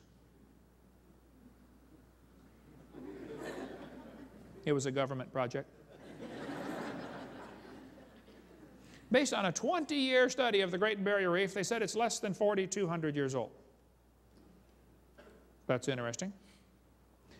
But I have a question.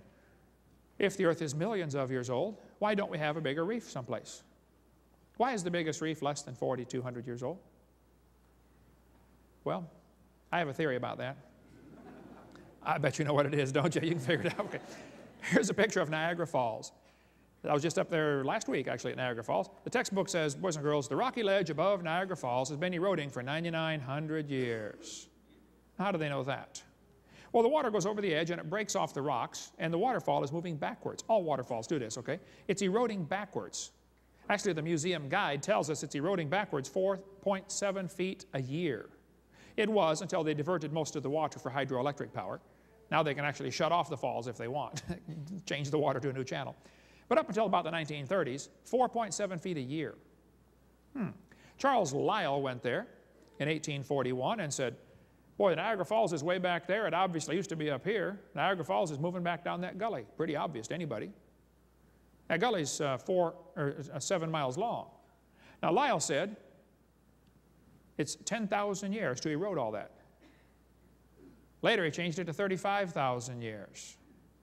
The people who lived there said, Charlie, uh, it erodes a whole lot faster than that. Now, Charles Lyell's the guy that wrote this book right here, Principles of Geology. Charles Lyell did not like the Bible at all. He was looking for some way to discredit the Bible. This is the book that destroyed Darwin's faith, by the way. We get into a whole lot more of that on video number four about Charles Lyell's book. But he made up these numbers purposely to try to discredit the Bible. He knew, though, that Niagara Falls put a time limit. There was a limit to how long it could have been eroding. It runs over the falls into the gully, seven miles long. This textbook says it took seven, seven and a half miles. It took uh, 9,900 years to make that. Oh, I don't think it's quite that simple. See, Niagara Falls is right there. It used to be further north. It's eroding south. Well, if the Earth is millions of years old, why hasn't it eroded back to Lake Erie by now? Why is Niagara Falls right there? Well, I have a theory about that. Now here's my theory. I believe about 6,000 years ago, God made everything. 4,400 years ago, there was a flood. As the flood water was running off, whoosh, about half of that gully washed out in 20 minutes. Because you had lots more water and soft rock. Hadn't hardened yet, remember, from the flood? It erodes much quicker when it's soft. So it might look like it took 9,900 years. No, they forgot the flood. They also forgot to get their numbers right. It should have been 8,400 had they used the right divider, but oh well. Public school textbook, what do you expect? Um, you know, when it rains, 30% of the water runs into the ocean, bringing with it mineral salts. The oceans are getting saltier every day. Today, they're 3.6% salt. They could have done that in a few thousand years. So the question would be, if the oceans are millions of years old, why aren't they saltier like the Great Salt Lake, the Dead Sea, Salton Sea? Hmm. Why only 3.6%? One atheist I debated one time said, Hovind, if you believe that flood, would you please tell me how the, uh, how the freshwater fish survived the flood? I said, Well, sir, aren't you assuming the flood was salt water? He said, The ocean is salt water. I said, Well, yeah, it is today. But I suspect during the flood it was mostly fresh water. It might have been, you know, tangled up mess a little bit with the flood going on, but I think mostly fresh water. And I think the oceans have gradually become saltier, and some animals have actually adapted to salt water. And today we have freshwater crocodiles and saltwater crocodiles. And they probably had a common ancestor a crocodile. He said, See, that's evolution. I said, Oh, it is not. Going from a freshwater croc to a saltwater croc is a minor change compared to what you believe. So you believe they changed from a rock to a croc. That would be a major change. Mm -hmm. How many of you have ever gone into a cave and the guide said, don't touch the formations, they take millions of years to form? Sure, they all, they got the same speech at every cave, don't they? Go to Carlsbad. Took 250 million years with tiny drops of water. They say it takes a thousand years to grow one inch. I don't think so. Here are some 50 inch stalactites growing under the Lincoln Memorial. It's built in 1922. There's a bat covered up with flowstone. Didn't even have time to rot. He was preserved by stalagmites, which grow even slower. There's two inch stalactites growing off a refrigeration shed in Pensacola, Florida. There's a building in Indiana, it was only open for 40 years, and the basement was getting full of flowstone formations in 40 years. This picture shows the inside of a cave that was shut down for 55 years in Australia. It's now full of stalagmites, stalactites, ribbons, columns in 55 years. There's two people inside that circle for scale. There's a 13-inch stalactite growing off a pipe, dripping water in a building built seven years before this picture was taken in Hurlburt Field near Pensacola, Florida. On the bottom was a stalagmite. They broke it off and gave it to me. Seven years. It's in my museum. In uh, Texas, they built a place for cars to park for the uh, University of Texas in Austin. They had to put a pan up to catch the drips because there's stalagmites growing on people's cars parking underneath them. A guy in Wyoming had a hot spring in his property. He stuck a pipe in it about 100 years ago. Water came out the pipe and ran down the sides. They called it the teepee fountain. Everybody thought, wow, that's cool. He's got a fountain in his yard. Well, as, it went down, as the water ran down the side, some of it evaporated, leaving behind mineral deposits. How many have seen those mineral deposits in your sink before? Okay, the guy died, and they left the pipe sticking in the yard. Here it is, 100 years later. That would take some lime away, wouldn't it? Don't tell me it takes millions of years for these formations to form. It does not. You're confused or you're lying to somebody because it doesn't. The guy down the road put a pipe in his yard later. It's not quite as big, but still, it's pretty impressive. At the current rate of erosion, the continents are going to erode flat, be gone in 14 million years. We have landslides, mudslides, ground creep, mass wasting, exfoliation, avalanches. Does the ground ever fall up? It's always down, isn't it? Well, then why do they tell us we've got fossils that are 300 times older than that still above sea level? Some, one atheist said, Hovind, don't you know the crust of the earth is sometimes rising, sometimes sinking? You know, you get volcanoes. Terry rock? Well, no. Well, that's where fossils are found, folks, sedimentary rock. Think about it. You can drive out west or fly out west and just look out the window of your airplane once in a while. There are erosion patterns all over this planet that are incredibly huge in places where it hardly ever rains. Grand Canyon had to be formed in a matter of a few weeks. We cover that on video four. It did not form slowly by the Colorado River. There are ripple marks that are a mile apart, huge ripple marks in southern Iraq evidence of a massive amount of water moving rapidly. A flood is the best explanation for this. Zagros Mountains. The oldest languages in the world are about 6,000 years old, less than 6,000 years old. But that fits what the Bible says. The Chinese calendar says this is the year 4703. Of course, they might have started with Noah. As far as Noah was concerned, the flood was a one-year cruise. He didn't start his life, you know. Or Shem lived 100 years before the flood. Might have started with Shem. I don't know what they started with, but they think Fuhai is the father of their civilization. Hebrew calendar said this is the year uh, 5763. Question Why are there no historical reliable records back more than five or 6,000 years old? I wouldn't trust the Egyptian calendar. They stretch all sorts of things in the Egyptian calendar. We cover that video 7, I believe. Um, folks, the evidence for an, a young earth is overwhelming, but the students are never shown this. They're only shown the earth is billions of years old because they have to have billions of years to fit their theory. And I think there's a long, interesting reason why they're only shown one view. They're afraid the kids might come up with a philosophy like our founding fathers had.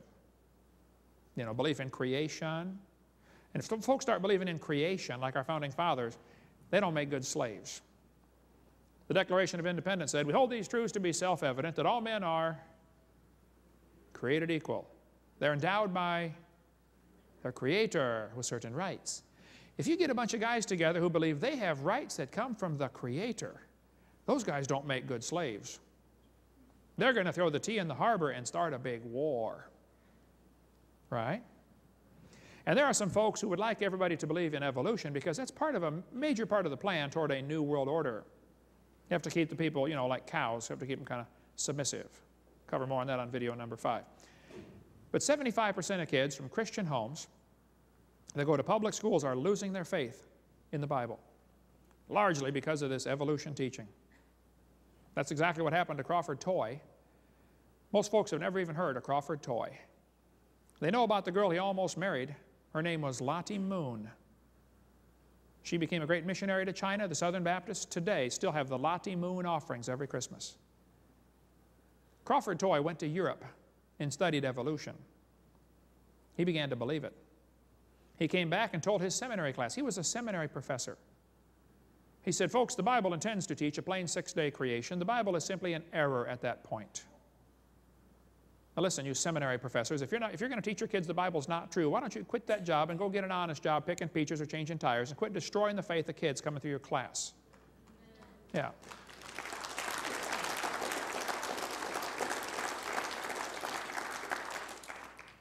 Crawford thought the Bible must have an error in it. Well, Crawford, maybe your theory has an error in it, huh? Maybe you got brainwashed.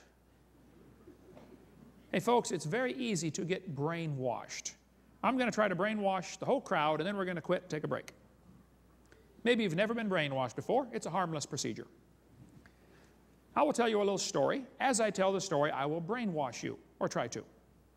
If you know the answer to the questions, it's probably because you saw my seminar before.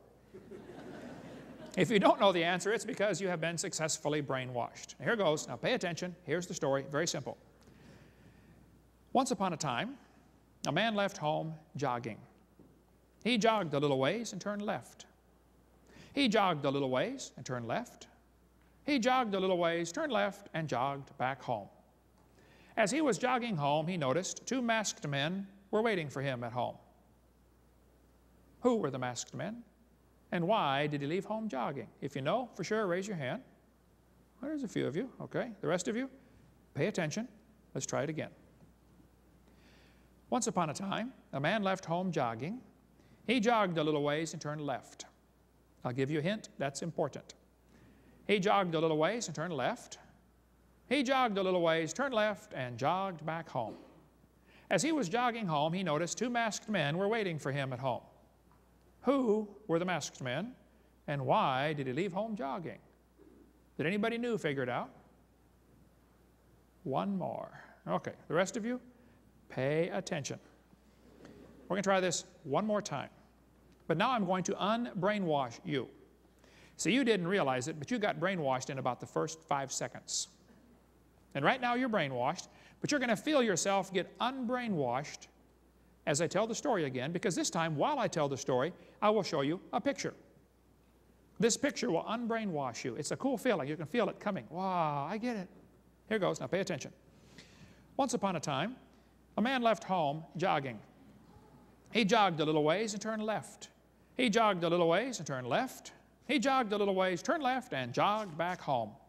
As he was jogging home, he noticed there were two masked men waiting for him at home. Who were the masked men? Ah, the catcher and the umpire. You say, Brother Hovind, is it that easy to get brainwashed? Yep. as soon as I said a man left home, you started thinking about a house. And for the rest of the story, you couldn't figure out who those guys were. You see, if you get somebody off track in the first few seconds, you got them. Would you like to see how thousands of kids get brainwashed in your county every year? Thousands of them. Here's how it works it's so simple. The kids go to kindergarten and they get a book like this I can read about dinosaurs. Would anybody like to just take a wild guess at what the first sentence in the book says? Millions of years ago. How did you know? You think there's any books like this in your public library? Hmm. How about your public school library? How about on TV, Nature Channel, Discovery Channel? Oh, yeah. Even Dr. Seuss says millions of years before you were born. Millions of years ago, dinosaurs roamed the earth. Hey, that's calling Jesus a liar. Jesus said the creation of Adam was the beginning. The Bible says there was no death till Adam sinned. We got a serious difference here, folks, in belief systems. Some people say, now hold on a minute. If the Bible's right, the Bible says they lived to be 900 years old. I mean, how's that possible? Oh, we cover that on video number two. The Garden of Eden, we'll cover that next. Why they lived to be 900. And what about the dinosaurs? Where do they fit in? Uh, well, we cover that on video number three. Dinosaurs fit in just fine with the Bible view. They've always lived with man. But listen, kids, carefully. If some teacher gets up and says, okay, kid, you started like a slime and you slowly became a human, that's a philosophy that's going to destroy your faith. Don't believe that for a second.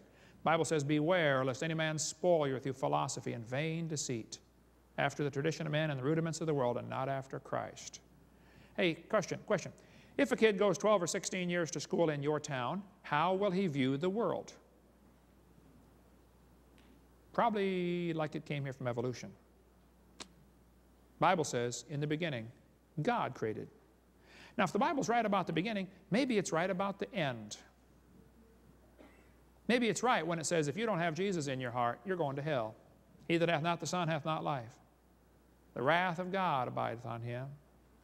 Let's uh, summarize here and we'll quit. Number one, God made this world. Number two, He owns it.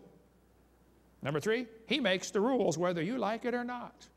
It belongs to Him. Number four, we are all guilty of breaking His rules. Paul said, I had not known sin but by the law. God gave us the law to show us we're sinners. Here are the Ten Commandments. He said pretty clearly in commandment number nine, Thou shalt not bear false witness. Don't lie. How many of you have ever told a lie in your life? Put your hand up. Come on, put your hand up or you're doing another one. Robin, get your hand up there. You, okay, don't give me that. don't give me that pious look, all right? Number eight, thou shalt not steal. How many ever stole something? Come on, you already told me you're a liar. Put your hand up, okay? okay, let's get it straight now. So far we know we're all a bunch of lying thieves, right? You want to read the whole list and see how we're doing? it's not too good, okay? So we're all guilty of breaking his laws, which means we're going to have to be punished, or you better find a substitute. And if you think your good works are going to take care of your bad ones, you are really deceived. What if you went to the judge and said, Your Honor, I only killed one person. Look at all the people I didn't kill. my good works outweigh my bad. you think he's dumb enough to fall for that? God's not going to punish you for your good works, only for the bad ones. And the wages of one sin is death, so you're in trouble. Real serious trouble.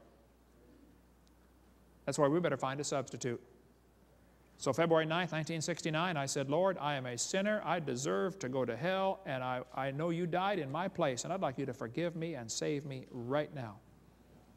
I prayed and asked the Lord to save me, and He made me one of His kids. And now, if I do something wrong, it's a different matter. See, I, God was, was going to be my judge, but now He's my father. It's very different. If my kid commits a crime, breaks the window on the house, I'm not going to call the cops. It's a family matter. We're going to settle this in the family. Now, if the neighbor kid breaks the window, I might have to call the cops. You know, you might have to involve the law because he's not my child. But once you become God's child, it, it's treated very differently when you sin. It's a family matter, not a judicial matter. How about you? Are you in the family? These deer figured out if they stand in the water, the forest fire goes right past them. Pretty cool. Hey, did you know if you are in Christ, God's judgment will go right around you? I'm not going to be judged. Not for my sins, anyway. Praise God. I'd be in trouble if I was. How about you?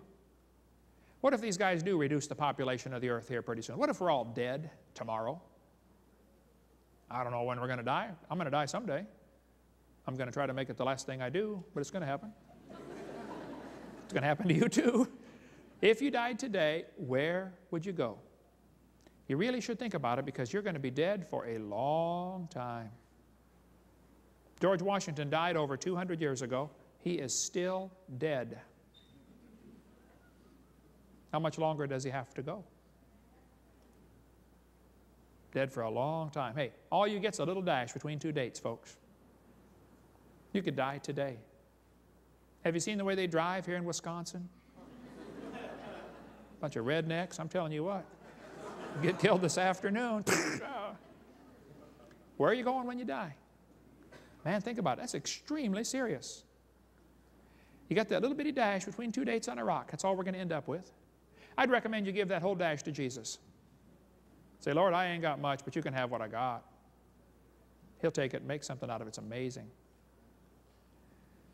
Wayne Strickland picked out his tombstone already. Wayne Strickland, atheist.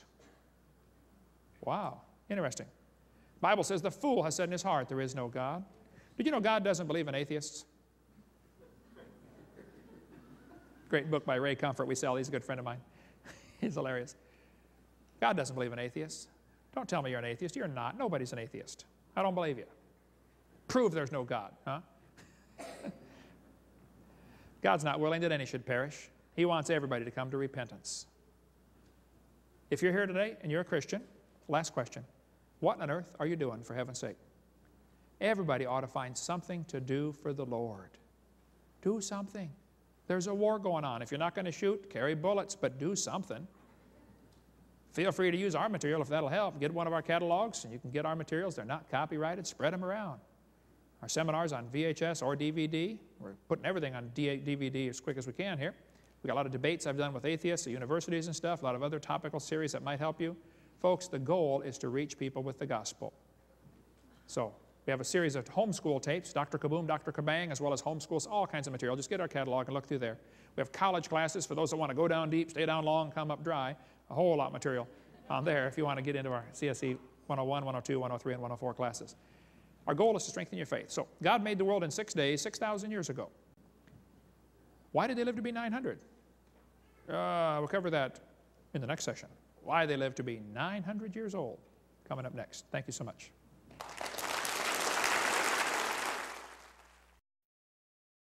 We hope you've enjoyed this video series on creation, evolution, and dinosaurs. Much more important, though, than knowing all the truth and facts about science is to know the truth about whether you're going to heaven or not. If you've never trusted Christ as your Savior, uh, let me explain quickly what you need to do to go to heaven. The Bible says we're all sinners. We've all broken God's laws. We've disobeyed the Creator. We've, we've done wicked things. We're sinners. Some are worse than others, at least in man's eyes, but we've all broken God's laws. And the Bible says you have to repent. The word repent means to turn. It actually means two things to turn from your sin and to turn to God. God's looking for a change in your attitude where you say, Lord, I don't want to do wrong anymore. I'm sorry, I've offended you. I want to do right. And you turn from sin and you turn to God and say, God, would you please forgive me? would you save me? The Bible says in Romans chapter 3, verse 23, that all have sinned and come short of the glory of God. You need to admit you're a sinner. Number two, the Bible says in Romans 6:23, the wages of sin is death. We deserve to die and go to hell because of our sin. But Jesus died for you. He loves you. He wants you to come to heaven.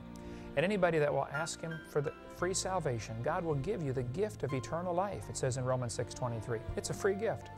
And it says in Romans chapter 10 and verse 13, whosoever shall call upon the name of the Lord shall be saved. If you would just call and say, Lord, I'm a sinner, would you please forgive me? And ask Him, He will give you that free gift of eternal life. Why don't you just pray with me right now and you could receive Christ as your Savior? There's no magic words, God's looking at your heart. But if you could say this and mean it, God would forgive you. Just say, Dear Lord Jesus, I know that I'm a sinner. I've broken your laws. I'm sorry. Please forgive me. Please apply your blood to my account. Forgive my sins and take me to heaven. In Jesus' name, amen. Bible says if you call upon the Lord, you shall be saved. So if you've asked the Lord to save you, He promised He'd save you. Now your job is to grow. Read your Bible, pray, get involved in a good Bible-believing church, and begin to grow to be a good Christian. Thank you so much. Call or write if we can be any help at all. We'd be glad to help.